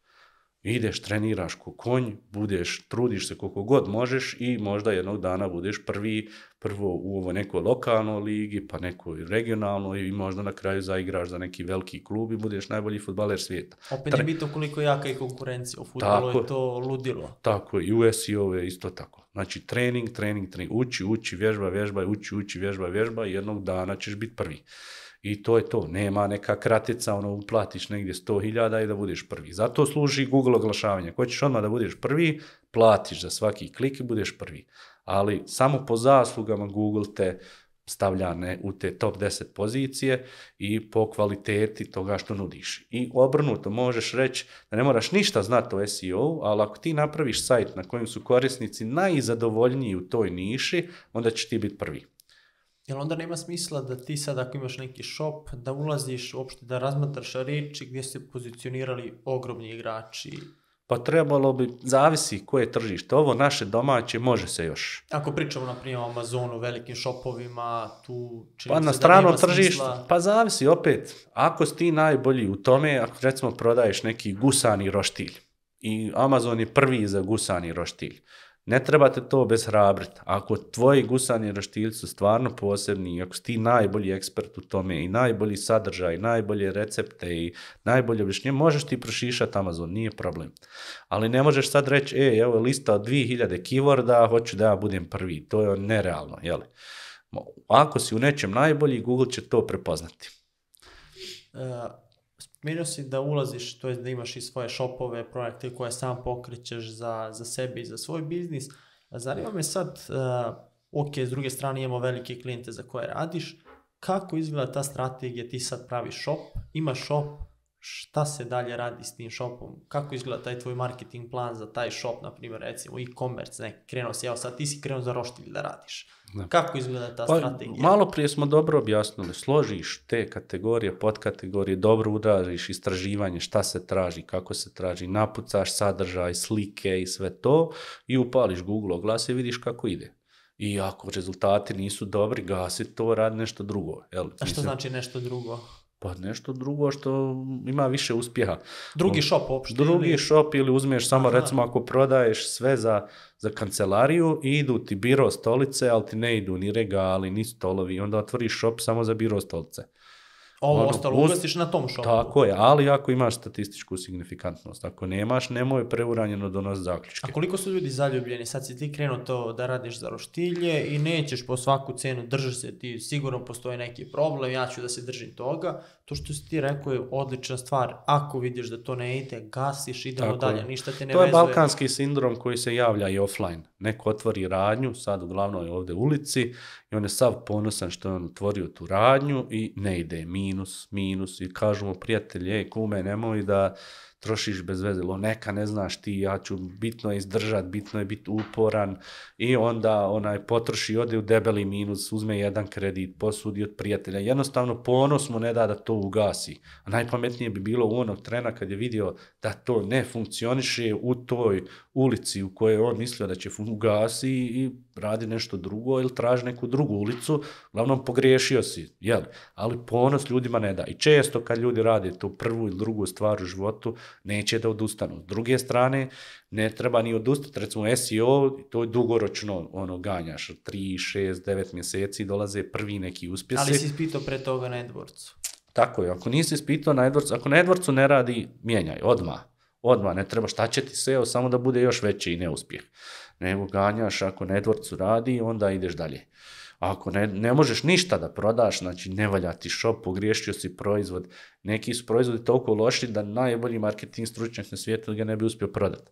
Nije samo do tebe nekada, nekada i do proizvoda, do tržišta. Evo recimo ljudi kupuju sad kad je kriza neka e, svjetska, evo ti ratovi, šta ja znam, u, stegnu se ljudi, neće da kupuju ono što im je nice to have, nek samo kupuju ono must to have. I onda svi oni koji prodaju nešto što je lijepo imati, ali ne moraš, e, gube na tom, jer ljudi čuvaju za ne do Bog, hoće li trebati za ovo ili za ono i ne kupuju te stvari. Dok svi kupuju namirnice i nešto zbog čega ne možeš opstati i tu je i najveća konkurencija u tim dobrima koji ne može čovjek bez njih. Tako moraš se odlučiti, ali bitno je da radiš ono što voliš, da se razumiješ u to, jer ako se ne razumiješ, izgubit ćeš tu strast. Znaš, recimo sada ja prodajem, ne znam, ni ja šta nikako ne volim, šta ja, Rakiju. pa dobro, to bi možda i stigao.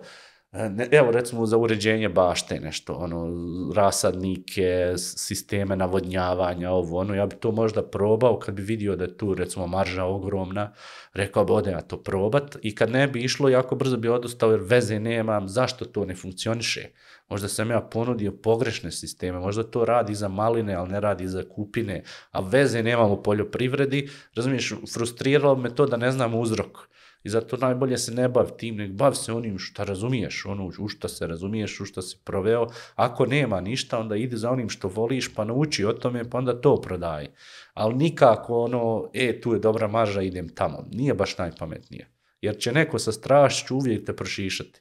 Jer ima on ljubav i unutrašnji energiju dovoljno da uvijek tebe preskoči. Jer njemu stalo on to voli, a ti samo gledaš kod neke brojeve. A s druge strane imaš ljude koji imaju tu strast i zaljube se u tu ideju, iako nema nekakvog smisla i osuđeno na, na propast. Tako je, često se to desi, odustani i radi ono što ima smisla. Idemo dalje. Mislim, Nekad nije ni pravo vrijeme. Jednostavno, preuraniš s nekim stvarima. Nije tržište zrelo za I to. se dešavalo to, jesi imao? Ja šta, ja šta, failova u životu mnogo. Najviše učim na failovima i najdraže mi je kad pogriješim i znam što sam, šta sam pogriješio. Ono što me frustrira kad nešto ugasim, ne znam što nije radilo. Ono, i, ne, ono, iskopa sam sebi hoću da saznam. Ali recimo evo industrija veganske, jer recimo sada napraviš dostavu veganske hrane i toga možda tržište još nije spremno za to, a za pet godina će sigurno biti. Razumiješ? I sad ti to pokreniš i nemaš neki profit i ustraj ako vjeruješ u to. Ali ako pravi minus, onda gasi pa kasnije pokreni. Ako pravi blagi plus, drži, drži, bit će bolje. Jel? Sve zavisi u kojem doba živimo i kako stvari reaguju. Čuje poziciju. A koliko je bitna tu ponuda? Kaže da će loš marketing prodati dobru ponudu, ali dobar marketing nikako lošu ponudu. A ne, uvijek, ne, do, loša ponuda ne valja. Ne bi se trebalo. Nije dugoročno, radi se o tome mi Balkanci često, evo interesantna je jedna anketa, kaže, hoćeš, e, pitali su, ne znam, hiljadu ljudi, hoćeš da ti sad dadnemo jedan milion ili da naredni 10 godina ti svaki mjesec dajemo 10.000 eura, što je mnogo više od 1 milion. Jel?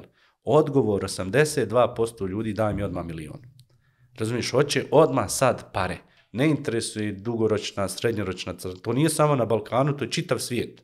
Znači, ljudi daj ono odmah da uzmem i taj attitude, taj stav prema biznisu nije dobar. Trebaš planirati kako da uloženo vrijeme dugo, dugo, znači da jednog dana možeš pustiti taj shop, imaš nekoliko zaposlenih i da to radi bez tebe, ti praviš novi shop. A ne da sad uzmeš odmah lovu na neku prevaru ili ne prevaru i da onda moraš smišljati nešto novo. Bolje je, zato recimo, to je razlika između dropshippinga i e-commerce. Dropshipping uglavnom uzimaju proizvode koji se uz određeno vrijeme izližu. Uzet ćemo onaj fidget spinner. Spinner, klasik. Pro, mislim, to ko je radio na početku, obogatio je se, jel? Obogatio se, ali to trajalo nekoliko mjeseci i ugaslo se. Bolje je da neko prodaje Lego kockice, ali non stop Lego kockice, ili ima shop za Lego kockice i da dugoročno prodaje, on će na duge staze puno više zaraditi taj sa fidget spinnerima. A ovaj sa fidget spinnerima mora ponovo nešto smisliti da bi on mogao nešto uspostaviti. I to je mentalni sklop, znači kada razumiješ šta znači dugoročno i dobro za okolinu, jer zaposliti ljude i dati da hraniš familije nešto drugo, ti na fidget spinneru samo ti uzmeš lovu, ideš na Bahame, proputuješ svijet, dobro i šta onda? Razumiješ, mi uvijek sanjamo o tome šta kad bi ja imao te pare, dobro, evo, proputovo čita svijet, šta sad? Moraš jednog dana da budeš član društva, da nešto praviš, da nešto, za nešto goriš. Svaki čovjek ima nešto. E sad, u šta će on to uložiti, to, to, to je do njega. Ali dugoročno je puno bolje, dakle, imati stabilan biznis i tako dalje. Kad uđe ljudi u preduzetništvo, onda kasnije vide ok, kod banke, ako imam dugo uspješan biznis, ja kod banke mogu dobiti sve. Ja ako imam milion na računu, a nemam uopšte biznis neki, neće banka ni marketat, ništa, euro, jedan jedini, neš ništa dobiti, zato što nemaš uopšte asset za koji možeš zacijeniti. I odmah vidiš, ok, hoćeš kupiti zemljište koji je van te cifre koje si ti zaradio kroz fidget spinere, nećeš nigdje dobiti kredit. Dok onaj koji zarađuje 10-20 hiljada mjesečno, njemu će banka dati par miliona kredit, i da on kupi sebi kuću pod hipoteku i da on to napravi, ti neš ništa dobiti. I to tek s vremenom skontaš. I zato je lijepo čut kad ti neko kaže, ej, nemoj gubiti vrijeme na te kratkoročne stvari, pogotovo ne na prevare, jer onda te i karma ono dodatno stigne, ne samo... I karma i obraz i... Sve. I zato je bolje smisliti. I ne, niko, mislim, rijetko ko je imao tu sreću da iz prve ubode ono, nešto što će donijeti dovoljno novca da on kaže ok, s tim se da živjeti, s tim mogu nešto napraviti. Oni koji su pametni baš na kontu te priče za dropshipping, koji uđu u dropshipping, skontaju da moraju da naprave neki brand koji će. Trajati duži neki vremenski period i to im je neka izlazna strategija. Međutim, nije normalno da ti gledaš samo taj dropshipping, to što kažeš ti fidget spinnere, ajmo ovo da, da se vrti, jer ti za par godina već nećeš imati taj biznis, ako ne gledaš to kao neku ulaznu barijeru čisto da... Tako je, tako je. Mislim, ima tu white label, onda imaš kad počneš sam uvoziti, stavljati na lager, na, na skladište, recimo, korona je odlično pokazala. Ako se radi o dropshipping direkt iz Kine, tebi je presjećan biznis. Ako si bio napreden dropshipper, ti si imao nešto na skladištu pa si ti mogao slat. Ali mnogi ne znaju da je velika razlika pravno gledajući da li ti to imaš na skladištu ili se to šalje iz Kine i gdje ti to šalješ. I onda te stignu neke stvari kasnije. Ti kad postaneš vidljiv i ugro, počneš ugrožavati neke ozbiljne brendove, kad oni krenu pravno te ganjati za taj tvoj dropshipping, sretno ti s tim. Znači tu puno, puno ima problema, sve je ok dok su to neke Dok si mali igrač. dok si mali. Čim ti počneš puniti svoje skladište i prodavati enormne količine nečega, tu postaju, počinju pravni problemi koji nekada ukopaju ljude. I zavisi u kojoj si zemlji, jel? Recimo, prodaješ u Americi, šta te briga ako te tamo porezna, ali ti neš nikad moći ući u Ameriku. Kad uđeš, onda će te hapsiti, a ne znaš da Amerika ima svugdje službe, pa da nećeš moći ni tek tako u Evropsku uniju. I odjednom se sam sebi skoči u stomak zato što se Zato bavio. što si slušao polovične informacije, je. zato što su ti rekli da možeš ti to tamo da otvoriš, neće niko da te dira, neće ako ne izlaziš iz zemlje. Tako je, tako je. I zato ljudi slušajte, proverene informacije, udubite se u to, jer ja sam, kažem, nasjedao neke polovične informacije i za na startu karijere, za otvaranje tih računa, ovamo se ne plaća, ovamo izgleda to ovako, međutim kad sam na kraju ušao u tu problematiku, skonto sam da niko od njih nije došao do, do tog nivoa, to se nije ga ni, ni zanimalo, ja razmišljam o tom dugoročno, da može da se uđe u tu državu, ko pa ne, to se ne plati, znaš to, a sutra šta, ćeš, šta će biti kad budeš hteo da uđeš u Ameriku, u, u Englesku, Tako je. oni kao ne, nema veze, niko od njih neće odgovarati za te polovične informacije, tako da ljudi slušajte pune informacije, što kažu polovične te informacije i poloistine su opasnije čak i, i od ovih laži. Ti si osnovno kada je krenula korona, večernju školu, SEO. Kako je došlo do toga gdje su mnogi ljudi susreli se, naučili, dao si kvalitetnu edukaciju besplatno. Pa krenula je korona i ja sam bio sam i u, u kući u stanu. I nisam imao neki, u Njemačkoj je bio rigorozan lockdown, bukvalno je bilo ono od 8 do 10 ide moja generacija u samoposlugu i to je što se mogu kretati, prije podne idu penzioneri i tako dalje. I na TV-u se vrtilo to kako je psihički to opasno zatvoriti se, kako treba šetat, kako treba se kretati i kako s drugim ljudima treba se susresti. Ja nekako sebe smatram nekom stabilnom ličnošću, ali već je nakon dvije sedmice počelo nagrizati tu, tu, tu moj mir i tu moju slobodu i onda sam pogledao jednu reportažu jednog psihologa koji kaže da ljudi koji su ono recimo jedan klasični programer, sjedi sam kod kuće, nema neki razvijen socijalni život svakako i sad se se zatvorio i da tim ljudima treba izaći u susret, da treba sa njima pričati, da treba nešto uraditi. I ja rekao, ok, vidim mene nagriza, treba mi društvo, ja sam jako društven čovjek, volim ono na kafu, na, na razne te događaje. Rekao, hajde da napravim ono da se okupi nas 5-10 na Twitchu, da isprobam taj Twitch, nikad nisam bio gamer u tom smislu, nego hajmo na Twitch pa da isprobamo, naći uvijek 5-6 ljudi da se družimo. I stavim ja na Facebook kao ja ću to nešto držati u nadi da će se javiti 5 do 10 ljudi i tako.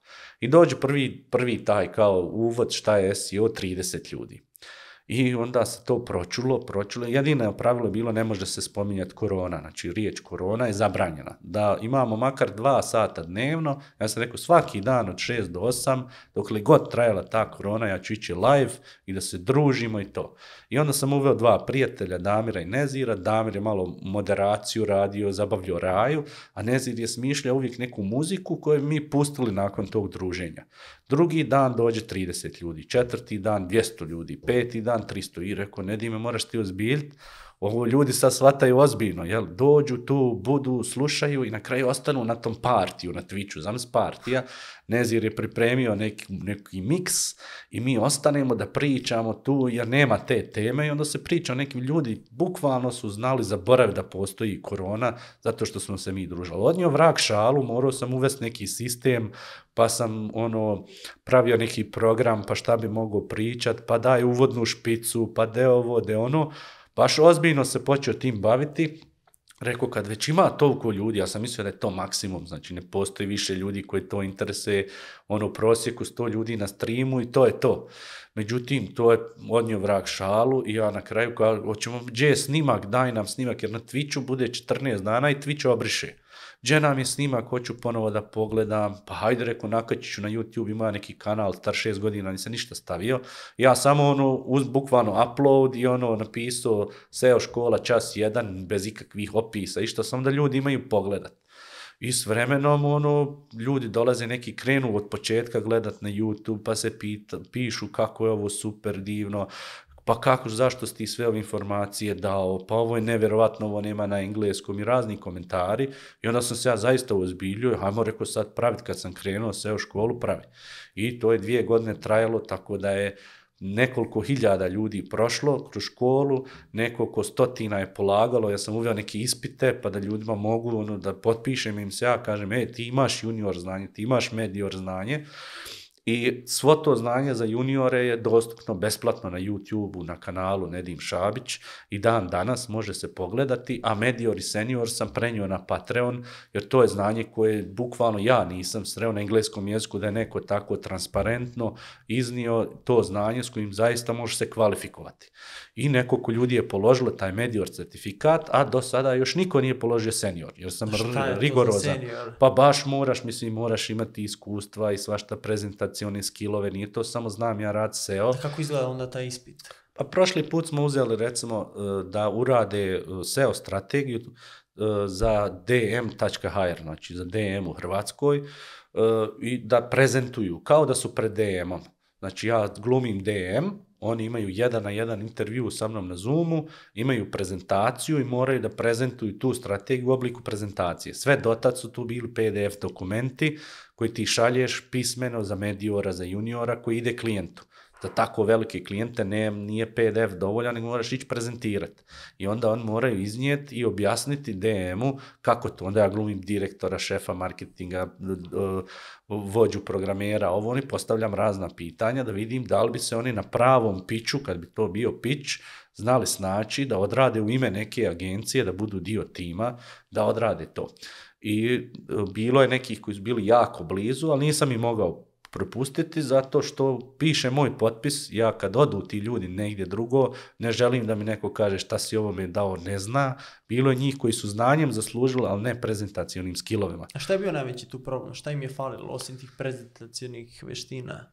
Pa što se tiče znanja, vrlo malo. Znači, dosegli su nivo određeni ljudi znanjem da se kaže, ok, možeš zvati se SEO, kompletna slika kako se to uklapa. Jer evo, ti si sam spomenuo, znači, SEO bez SEA, znači bez Google oglašavanja i, i tih ostalih SEA metoda nema nekog smisla. Znači, ti se moraš nakačiti, moraš uzeti te informacije, od DM-a, kako je išla to, kako im ide Google Ads, kako im ide SEO i da onda e, na osnovu toga iz ptičije perspektive daneš pogled na to i da je razumljivo da ti to preneseš, da je razumljivo svim tim ljudima iz tih odjela i to je teško. Znači možeš ti pucat SEO vokabular sa SEO stručnjacima, ali ako tamo sjede ljudi iz branding, recimo zadužen za branding, on nema puno znanja o SEO-u i ti moraš pričati razumljivo da on isto razumije. Svi oni donose odluku da li će tvoja agencija za koju ti tu sad došao prezentovat dobiti priliku da bude agencija za DM. Jer to je bila simulacija, dakle nije DM dao dopuštenje, niti smo ga mi tražili. Bio tvoj klijent pa si mu Ne, nije, nije, nije, to nikad ne radim, ali onaj, samo da se zna, da ne bude kasnije da sam rekao, nego mi smo uzeli taj sajt jer je ozbiljan i odmah znaš, ako staneš pred DM, morat ćeš određeni level ozbiljnosti donijeti, jel? Da, I sajt je bio to, toliko loš da je imalo na njemu se ispravljati koliko hoćeš. I oni su imali 7 ili 10 dana, ne sjećam se, da to sve spreme i spremili su odlično, ali eto, ne bi uvjerili, niko od njih ne bi uvjerio DM da, da im dadne taj posao. Sad mogu da ponove to. nakon Tako je, mogu besplatno da ponove ispita. Ti si pored te večernje škole osnivač konver- konverzije, konferencije koja se održava svake godine u Banja Luci, marketing konferencija, kako je krenula to, to jest kako je izgledala ta prva konferencija, šta su bili najveći izazovi, moram malo tu da ti ispitam, znaš, Da. da, da ima Svakako. neke tu planove, tako da... Svakako, znači konverzija je jedna od tih stvari koju smo Nemanja Krecelj i ja e, planirali davno, ali tržište nije bilo zrelo kao ni mi. Jel? I čekali smo da sazrije tržište, u određenom momentu smo mi sazreli za to, e, onda je kod, Nemanja je bio prvi moj radnik, pa je otvorio svoju agenciju, u toj agenciji zaposlio divnu osobu Ljiljanu Šipragić, koja je se žrtvovala za konverziju jako mnogo i kad smo vidjeli da imamo i Ljiljanu, imamo ekipu s kojom možemo to startati, osudili smo se napraviti prvu konverziju. Koliko je bilo ljudi u toj ekipi? Pa na početku je bilo nas, pa bilo je jedno 20. 20 ljudi. 20, da.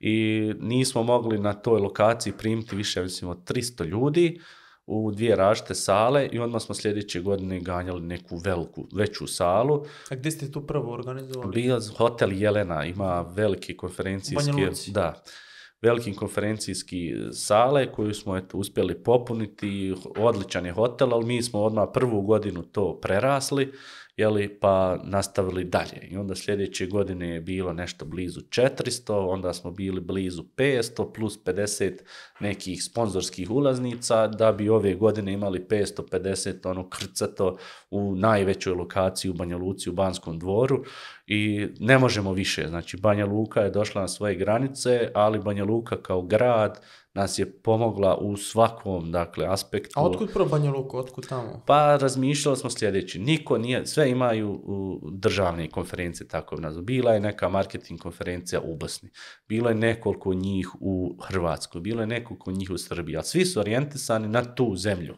I nama je bila ideja daj da spojimo ljude, jer u marketingu e, sam sreo najmanje ljudi koji su nacionalisti, koji su protiv nekih stavova, ali to su ljudi koji se vole družiti, vole upoznavati, vole širiti tu pozitivnu energiju.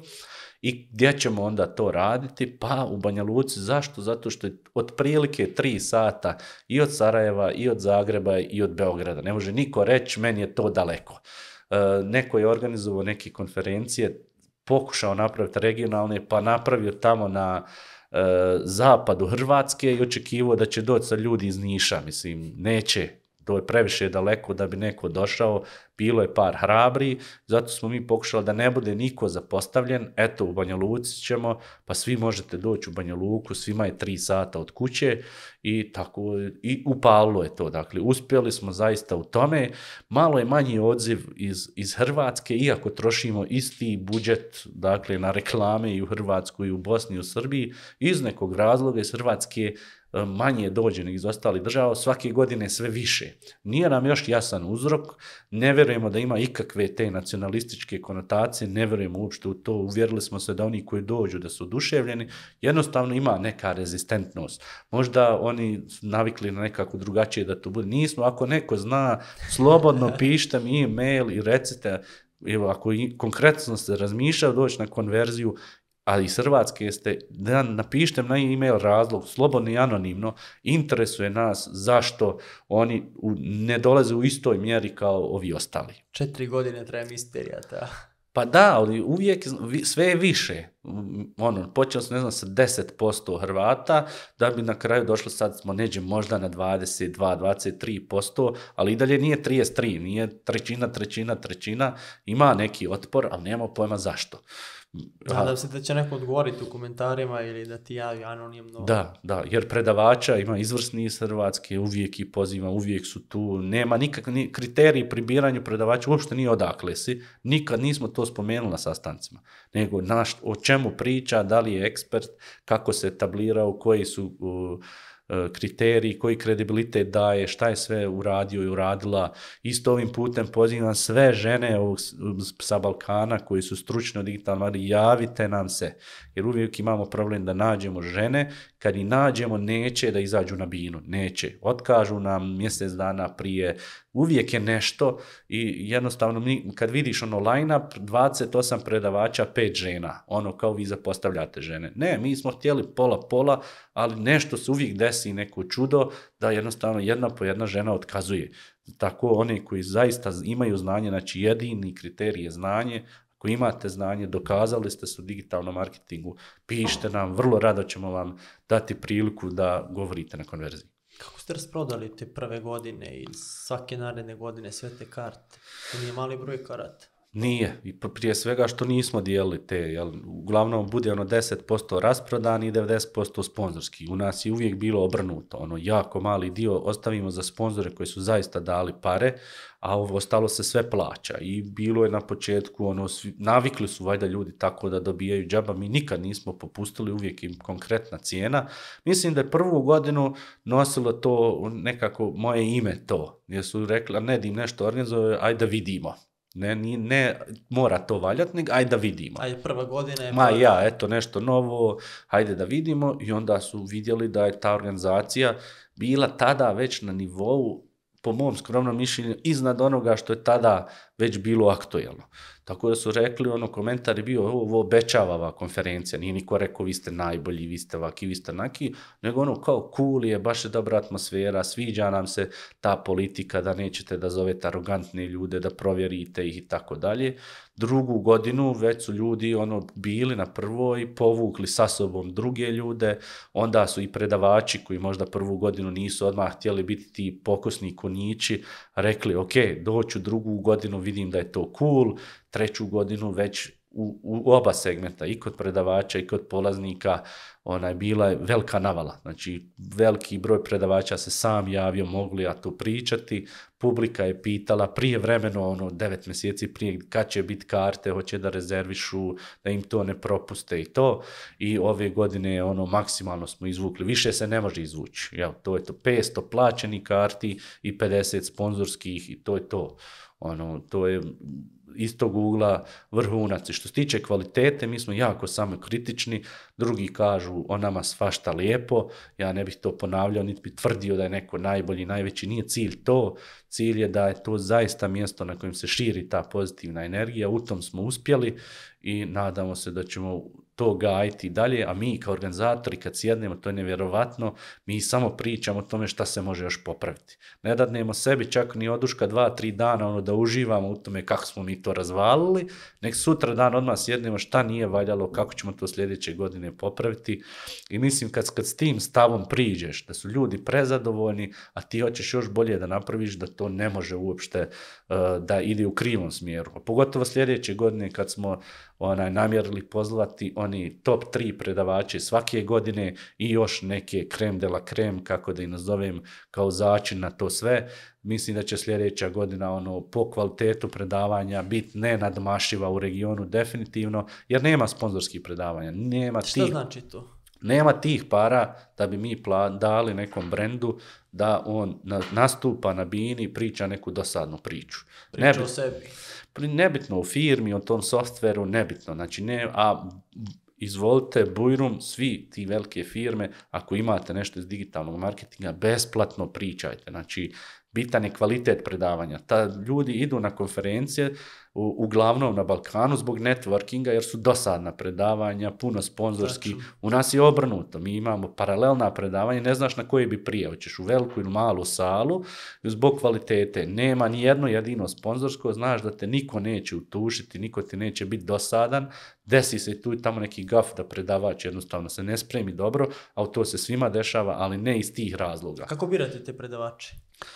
Pa na početku smo one koji smo lično čuli, od koji smo bili lično oduševljeni da to rade dobro, onda kasnije sam radio s dosta stručnjaka s Balkana na nekim projektima. Zajedno, ja radim SEO, oni radi Facebook, ja radim SEO, oni radi Google Ads i tako dalje, i također agencija Grape koju vodi Nemanja, u kojoj radi Ljiljana, isto imali su susret sa raznim agencijama, klijentima, onda smo vidjeli ima cool ljudi i što je bitno, nije samo stručnost presudna, nego da znaš to prezentovati. I mnogo ljudi na Balkanu ima, mora se to isto reći, koji imaju znanje, koji su se dokazali u praksi, ali jednostavno nisu za pozornice, ne znaju prenijeti znanje i oni sami to sebi priznaju, tako da e, ne manjka nama stručnih ljudi, nego nam manjka ljudi koji su stručni i znaju prenijeti to znanje, ali eto tu uvijek se nađe. Uvijek se nađe i sad imamo jedan ogromni pul, ja mislim preko 150 ljudi na spisku koje bi mi uzeli u razmatranje da ih pozovemo, tako da nije uopšte sad više problem doći do toga. Kako sad izgleda organizacija? Rekli ste da vas ima 20, u startu je bilo, koliko sad ima ljudi u organizaciji? Ali isto je... Pa sad kad izuzmeš, recimo, bilo je 30 konobara, ako maknemo te konobare i ostavimo samo, znači, nas, core, ekipu i audio, video, zvuk, bilo je nas oko 50. 50 ljudi Da. za tu konferenciju, Da, 550. da, ali nisam do prekjuče ni sam realizirao, neko me pitao koliko vas ima, ja ono počeo brojiti u glavi 4, 8, 12, 16, aha, pa rekao, oko 50, To ono, ozbiljna organizacija. Da, ali nisam, nisam ni ja bio svjestan da nas je toliko. Jer smo ono, uigrani do te mjere da uh, to ne primijetiš da nas je toliko. Ono, imamo vođe ekipa uh, i tako svaki je zadužen za nešto i brinemo se i tako dalje. Recimo ovi momci koji su nam radili onaj sad, zvuk i svjetlo, fantazija. Znači to je dream team kako smo se mi usaglasili sa njima, a mi sve ostalo preuzimamo. Znači imamo ko je odgovoran za well-being predavača, za doživljaje većini predavača doći na konverziju jer mi baš tetošimo, nudimo im svašta nešto što druge konferencije ne uzmaju uopšte u razmatranje da ti plate bilo šta, ni smještaj, ni put, ni dnevnicu, a kamoli masažu i neke poklone i tako dalje. Vodimo i na večeru pa da se oni između sebe upoznaju, to je recimo jedan aspekt. Onda kako prihvatamo goste, kako teče registracija, kakav je taj catering. Catering je najveća stavka, najskuplja stavka, zato što Pa Šta se to jede? nećemo da bude bilo ko da kaže nisam našto nešto da jedem, da mu se nešto nije svidjelo i to nije jednostavno. Jeli, pogotovo ako posmatramo imamo razne tu vjere, pa neće ovaj da jede ovo, neće ovo, imamo razne alergije, pa evo sad nas zakačilo i vrijeme posta jeli, i, ramazanskog i pravoslavnog za Vaskrs i kršćanskog za Uskrs, pa to moraš znači sve naznačiti, ima li ovoga, nema li onoga i tako dalje. Mi vodimo računa da bude zaista za svakog nešto tu, da niko ne ostane gladan, a da bude kvalitetno jelo. To apsolutno nije jednostavno. To je jedan od najtežih taskova, najest svi da budu sa osmijehom i uvijek nešto tu ja lično moram kritizirati, uvijek bi to moglo bolje. A glavna stvar konferencije, catering. Pa zadovoljni su, da, ako ljudi su, nisu gladni, zadovoljni su. To je da. bitno. Kafa, jako bitna, stalno besplatne e- energetska pića, voda, kisela, sve to moraš staviti na raspolaganje, ali zato platiš finu ulaznicu i sve dobiješ. Ono, hotel s pet zvjezdica, sve dobiješ. I ako nešto nedostaje, mi samo sebe krivimo, nikada oni koji su A došli. koliko traje ta organizacija? Sad, naprimjer, pričamo o sljedećoj godini. Kad kreće priprema? Šta je prvi deo? Kako to izgleda? Evo, prekjuče smo sjedili. Za sljedeću godinu. A Da. završila se konferencija pre par dana. Odmah ide za sljedeću, da. Nikakvog čekanja I nema. šta sad za sljedeću godinu? Spisak, prav, spisak pravimo šta nije valjalo, kako možemo to popraviti. Morat ćemo sad promijeniti stranicu jer mjeramo, mijenjamo nešto oko koncepta, to neću javno govoriti šta i tako dalje. Znači sve to treba pripremiti, napraviti, već znamo koji će biti predavači, nema puno naspram drugih godina gdje moramo i kontaktirati, ovo samo obnovimo stare kontakte i onda krenuti u pripremu toga svega da uradimo. Recimo ovaj put smo imali live stream, onda smo snimali, video predavanja, moći će se sad kupiti ako nisi bio, a moći ćeš besplatno pogledati ako si bio u offline ili u live streamu i ljudi će koristiti to. Mislim da smo prvi koji to nude, nisam baš siguran, ali uglavnom moći će oni koji nisu došli na konverziju, nisu mogli doći. Mislim, ne treba polast od toga da neko nije htio doći. Neko je spriječen, neko imao smrtni slučaj, neko je jednostavno nepokretan. Mislim, ima stotinu stvari zašto neko nije u mogućnosti da dođe i njima treba otvoriti vrata da to imaju pristup tome i to nije jednostavno. To sve zvuči ono kao pa šta je to, snimiš video i postaviš na internet. Pa nije baš tako. Ima tu mnogo, mnogo posla da se to uradi kako treba. Jel? Šta je najte, najteža stvar u toj cijeloj organizaciji, konferenciji? Da ti se ne provuče neko ko priča šuplju priču. To je najteže. Jer kvalitet je naša ambicija. Ako sve skloniš sa strane, naša ambicija je hoćemo da budemo najkvalitetnija dakle, konferencija i na konverziji se ne ocjenjuje najbolji predavač, niti najbolje predavanje, nego najkorisnije predavanje. I mi želimo kogod da dođe, a to nisu početnici. Konverzija nije konferencija za početnike, nego za napredne i za eksperte, da svaki od tih naprednih eksperta kad dođe kući, ima konkretno nešto da je naučio da može primijeniti u praksi, makar jednu stvar, a što više to bolje.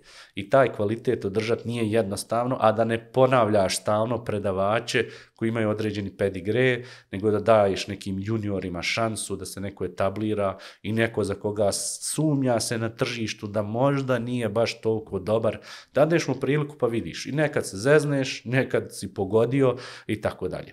I to je to, da ne budeš repetitivan, a da budeš i dalje kvalitetan. To je najteže u tom svemu. A od organizacijnih stvari, šta je Pravo da ti kažem, iskreno, meni to ništa, u niš, tome, ništa mi, ne, ne, ništa mi to teško ne pada.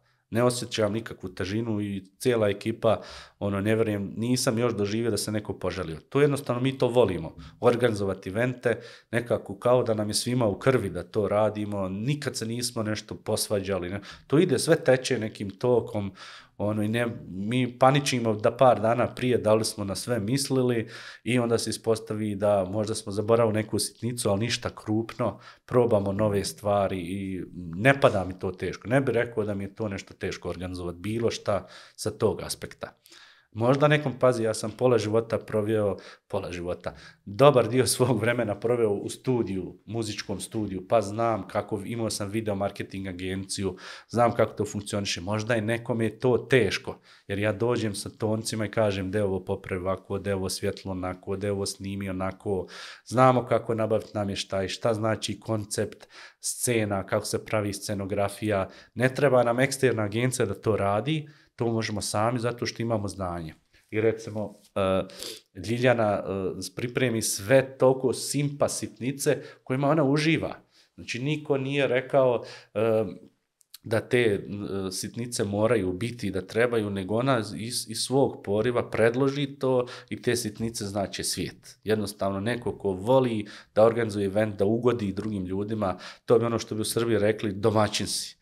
Mi smo pravi domaćini, nama nije to teško nekome dočekat ga i sve mu dati što je potrebno. Koliko ranije se organizuje, na primjer, hotel, sala, koliko ranije to mora da se organizuje? u Sala slučaju? od, odma, sala odma, znači tražiš termin sada, jako je teško ubost termin, zato što imaš puno praznika za koje nisi ni znao da imaju, moraš, ja sad znači sve te vjerske praznike, običaje, sve znam na pamet, ono gdje šta bude, gleda, gledamo u kalendare i nađeš taj dan i rezervišeš što prije, jer najgore što se može desiti da pripremiš pa da ne dobiješ taj datum. Jeli, taj dio je ono jako bitan, a e, za, za salu isto, znači mi, organizacija sale je uigrana toliko da ne razmišljamo uopšte o tome. A u trenutku kreće prodaja karata? Koliko E, pola godine prije. Pola godine prije krenemo sa nekim najvećim popustom i onda smanjuješ taj popust. Kako Jel? vrijeme odlazi? Kako vrijeme odlazi, tako i pred sami. Najviše se proda mjesec dana prije kad Pa nema klasika. popusta. I onda svi traže neki popust, a nema ga. I mi stalno govorimo, popust je, nestaće. Ljudi misle da je to neka marketing fora iz godine u godinu misle da je marketing fora. Zašto? Zato što mnoge druge konferencije tako rade. Stave 30% i ostane do dana održavanja 30%. Ne, mi striktno na datum koji smo rekli smanjujemo popuste i mjesec dana prije je puna cijena. I najviše prodaje se tu desi. Ne znam ono koja je logika iza toga, ali to je svake godine tako bilo. Tako je za sve. Zad, posljednjeg dana i da nema i da ima popusta, to je Tako to. Imamo, imamo veliki rok. Kako se bližimo kraju razgovora, htio bih da te pitam za neke preporuke, knjige koje su na tebe ostavile utisak, to mogu da budu stručne i ne tako stručne knjige. Šta čitaš? Pa malo prije smo, pa šta čitam? Čitam previše, tačnije započnem previše knjiga, pa onaj i ne završim. Um, u iz kojeg segmenta Ajmo krenuti? biznis neki. Biznis. E, mislim da je Biblija biznisa knjiga koja se zove Good to Great od Jim Collinsa, e, u kojoj on objašnjava kako od dobre firme napraviti odličnu firmu, sjajnu. I segmentirao to, to je naučni rad u suštini koji je on sa 30 kolega šest godina sprovodio i gledao koje firme u Americi su rasle mnogo više nego njihov indeks na berzi, nego Nasdaq i e, da nije recimo ako je firma Shell nekako se bavi naftom, da nije ona porasla zato što cijena nafte je porasla, nego zbog njihovog djelovanja. I ustanovili su da te sve firme imaju pet zajedničkih stvari.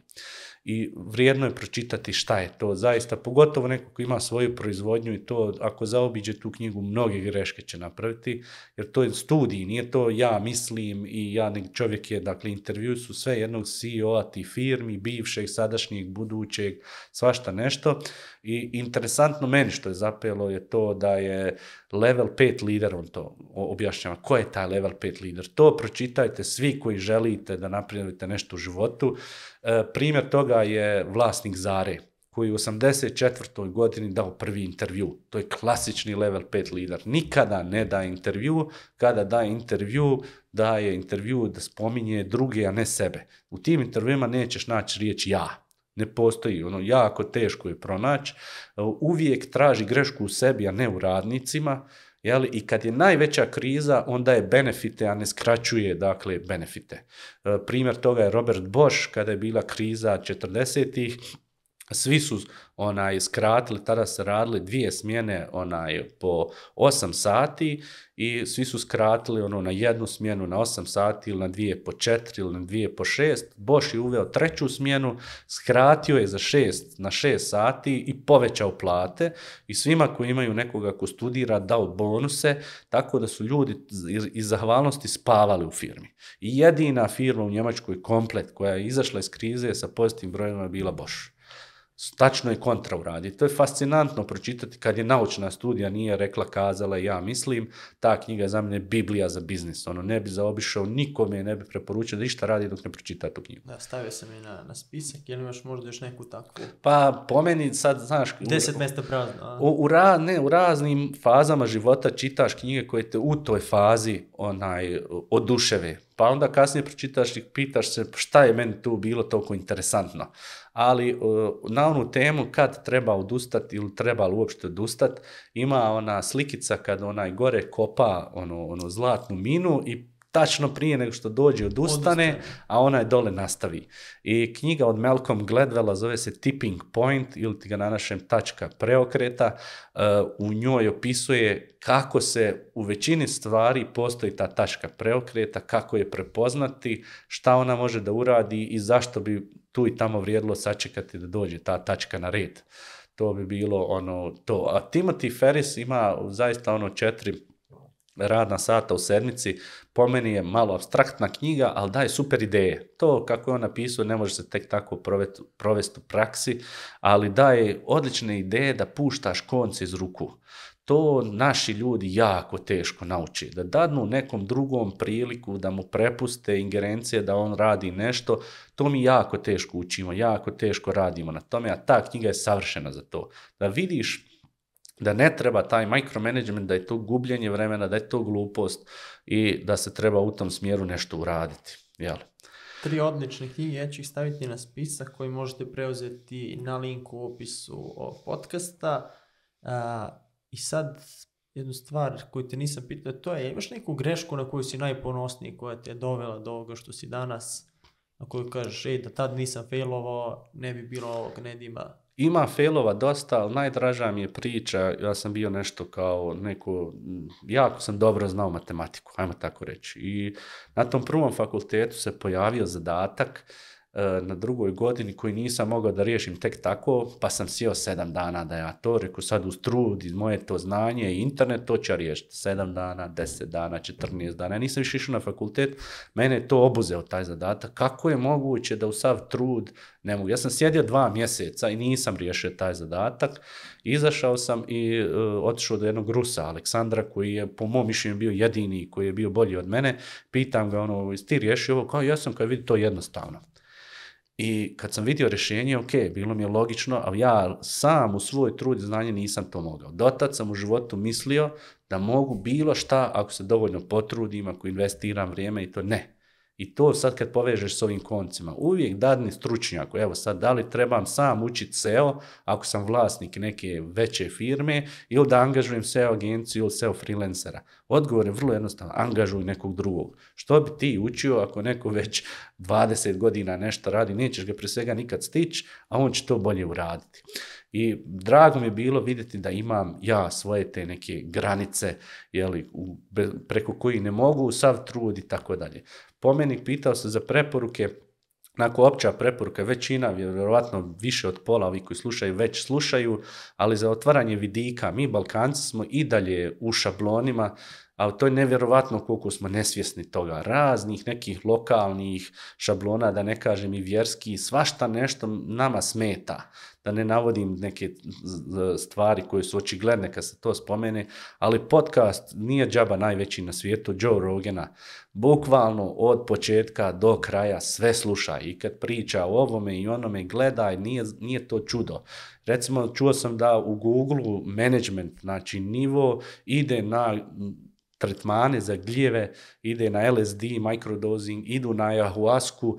Evo, to su tri riječi koje većina ljudi na našim tretmanima veze nemaju šta je to. Kakve bola nedime, magične gljive, kakav microdosing, LSD, šta je ta ayahuasca? Ne kažem, ja, ne kažem ja da trebaju to ljudi, nego da se upoznaju šta to na svijetu se dešava, koji su tokovi, kako se gleda na određene stvari i on je zaista neko ko iz ljudi izvuče, to, ako ništa pogledate na intervju sa Elon Muskom, imaju sa tri, kako on iz čovjeka koji Elon Musk izvuče te neke informacije, šta on kaže, kako gleda na svijet i vidjet ćete da ti ljudi koji su kao Elon Musk ne gledaju uopšte sebe, nek to prave iz nekih sasvim deseti razloga. I da svakom nešto u životu treba da ga nosi, da ga vodi, da ima neki životni smisao života. A neki ne žele se upitati šta je smisao života. A možda je bolje riješiti sa sobom šta je smisao života pa krenuti na putovanje, nego tokom putovanja mijenjati rute. A to je tema koju mi ne želimo, to je kao neka duhovnost, to je nešto e, imaginarno, metafizički. Ne, to tebi diktira život, to ćeš ti na kraju na smrtnoj postelji biti ponosan na sebe, na svoju porodicu i si ti napravio veliku firmu, imaš puno para i umro si. Razumiješ, da li ćeš ostaviti trag iza sebe ili ne. I iako smo uživimo u nekom okruženju koji nije baš potkovano novcem, možda je bolje se prvo tim pozabaviti, jer često u tim knjigama koje sam čitao kaže da nećeš zaraditi velike pare dok ne pripremiš mindset. I to je zaista tako. Nikad ni ja lično, ni nikoga koga poznajem nije probio tu neku sferu gdje kažeš ok, to je mnogo novca, bez da nije prethodilo tome da mindset ti se popravi, da pogledaš na svijet.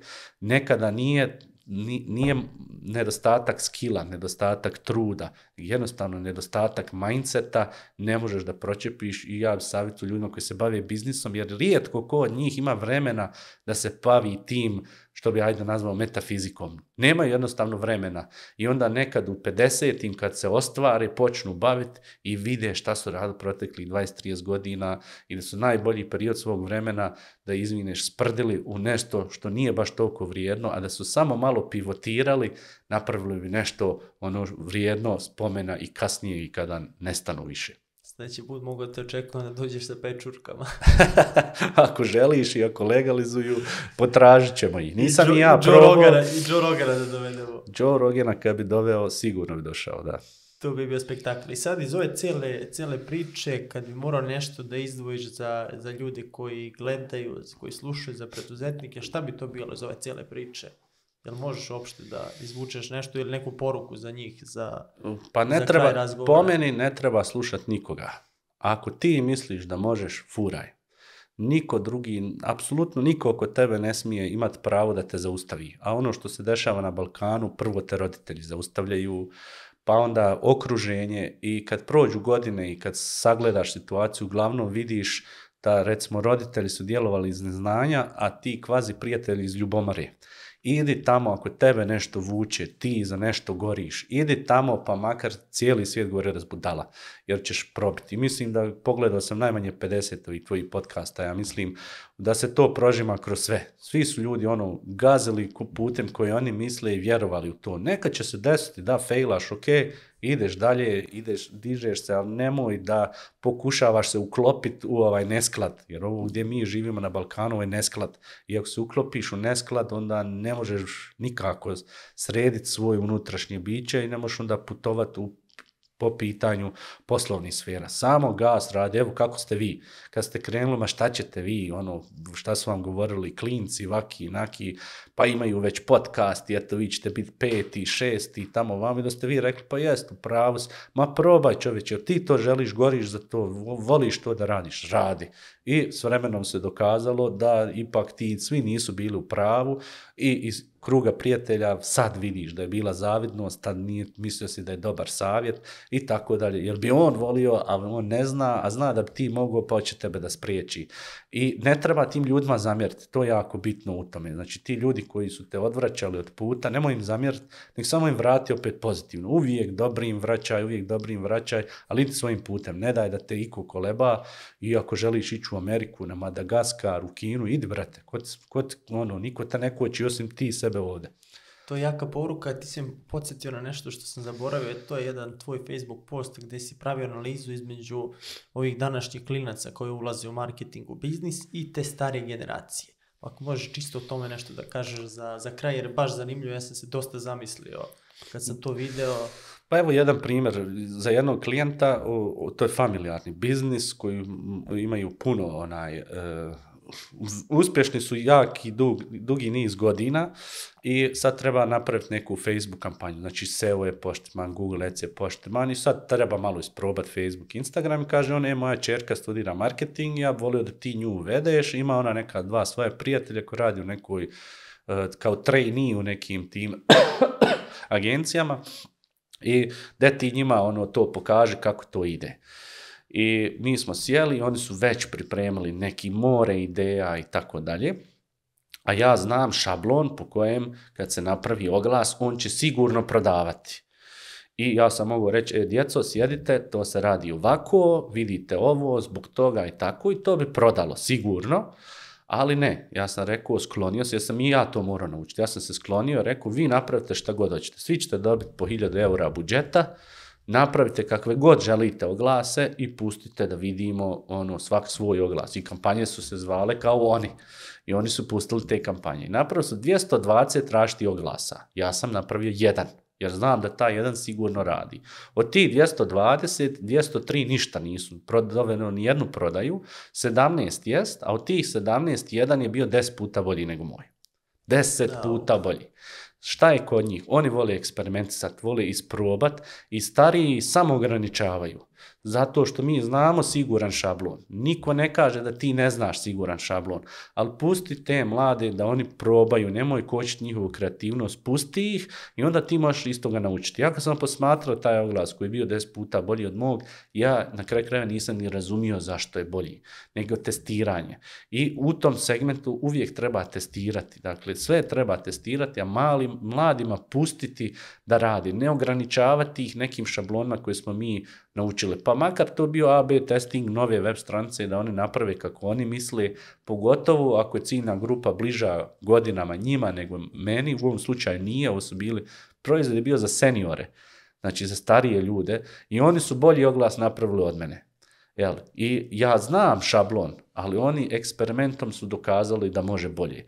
I to je ono, ne treba te mlade kočiti. Ja sam u tom postu spominjao a, mladića Marka Čubanova koji je napravio sistem za izradu dropshipping onaj e, shopova, da je to nevjerovatno. Znači Švabo bi mu zavidio kako je on to uspostavio, kako su to napravili, koliko su precizni, koliko znaju komunicirati sa klijentima. Stariji uvijek odugovlače, e, pazi ovo, pazi ono, naravno poučeni iskustvom, ali ne treba ta, tu kreativnost gasiti ni kad si stariji. Ako kod sebe želiš ugasiti, ok, ali pusti te mlade nek idu. I mislim da će za par godina imati ti stariji koji nisu dovoljno zreli da dopuste sebi i drugima kreativnost, doći u jako čudnu situaciju gdje će ti mladi i kako prošišati, oteti im tržište, svašta nešto će se desiti, onda će se onda oni pitati ovo je nepravedno i počet će smišljati poreze, lupam, poreze za mladi ispod 30 i nešto, jer će biti puno uspješnije. Evo šta se desilo u Bosni,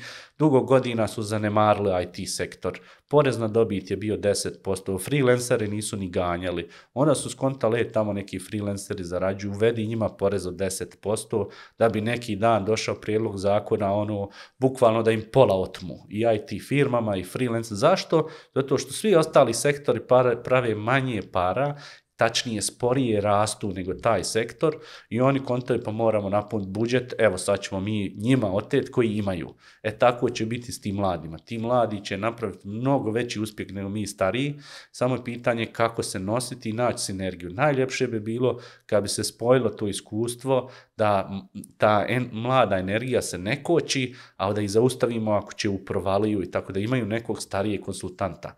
Zato starijima savjetuju, zapošljavajte te mlade kreativ, pustite im sve slobode, ne petljajte se uopšte, a mladima savjetujem nađite nekog starijeg mentora koji može prepoznat kad ste vi pretjerali u toj naglosti, da on ipak može reći, je, stani možda da razmisliš, ima tu neki aspekata, pogotovo recimo pravnih, za koje oni ne znaju, koje treba upozoriti, jer ta kreativa je ograničena zakonom, zakon je uvijek tu, tako da se treba služiti, zajedno raditi na projektima i takvi projekti će sigurno uspjeti. Ali mladi na našim područjima jako brzo će prošišati ove stare. Dobra motivacija za kraj. Nedime, hvala ti što si bio gost Biznis Priča.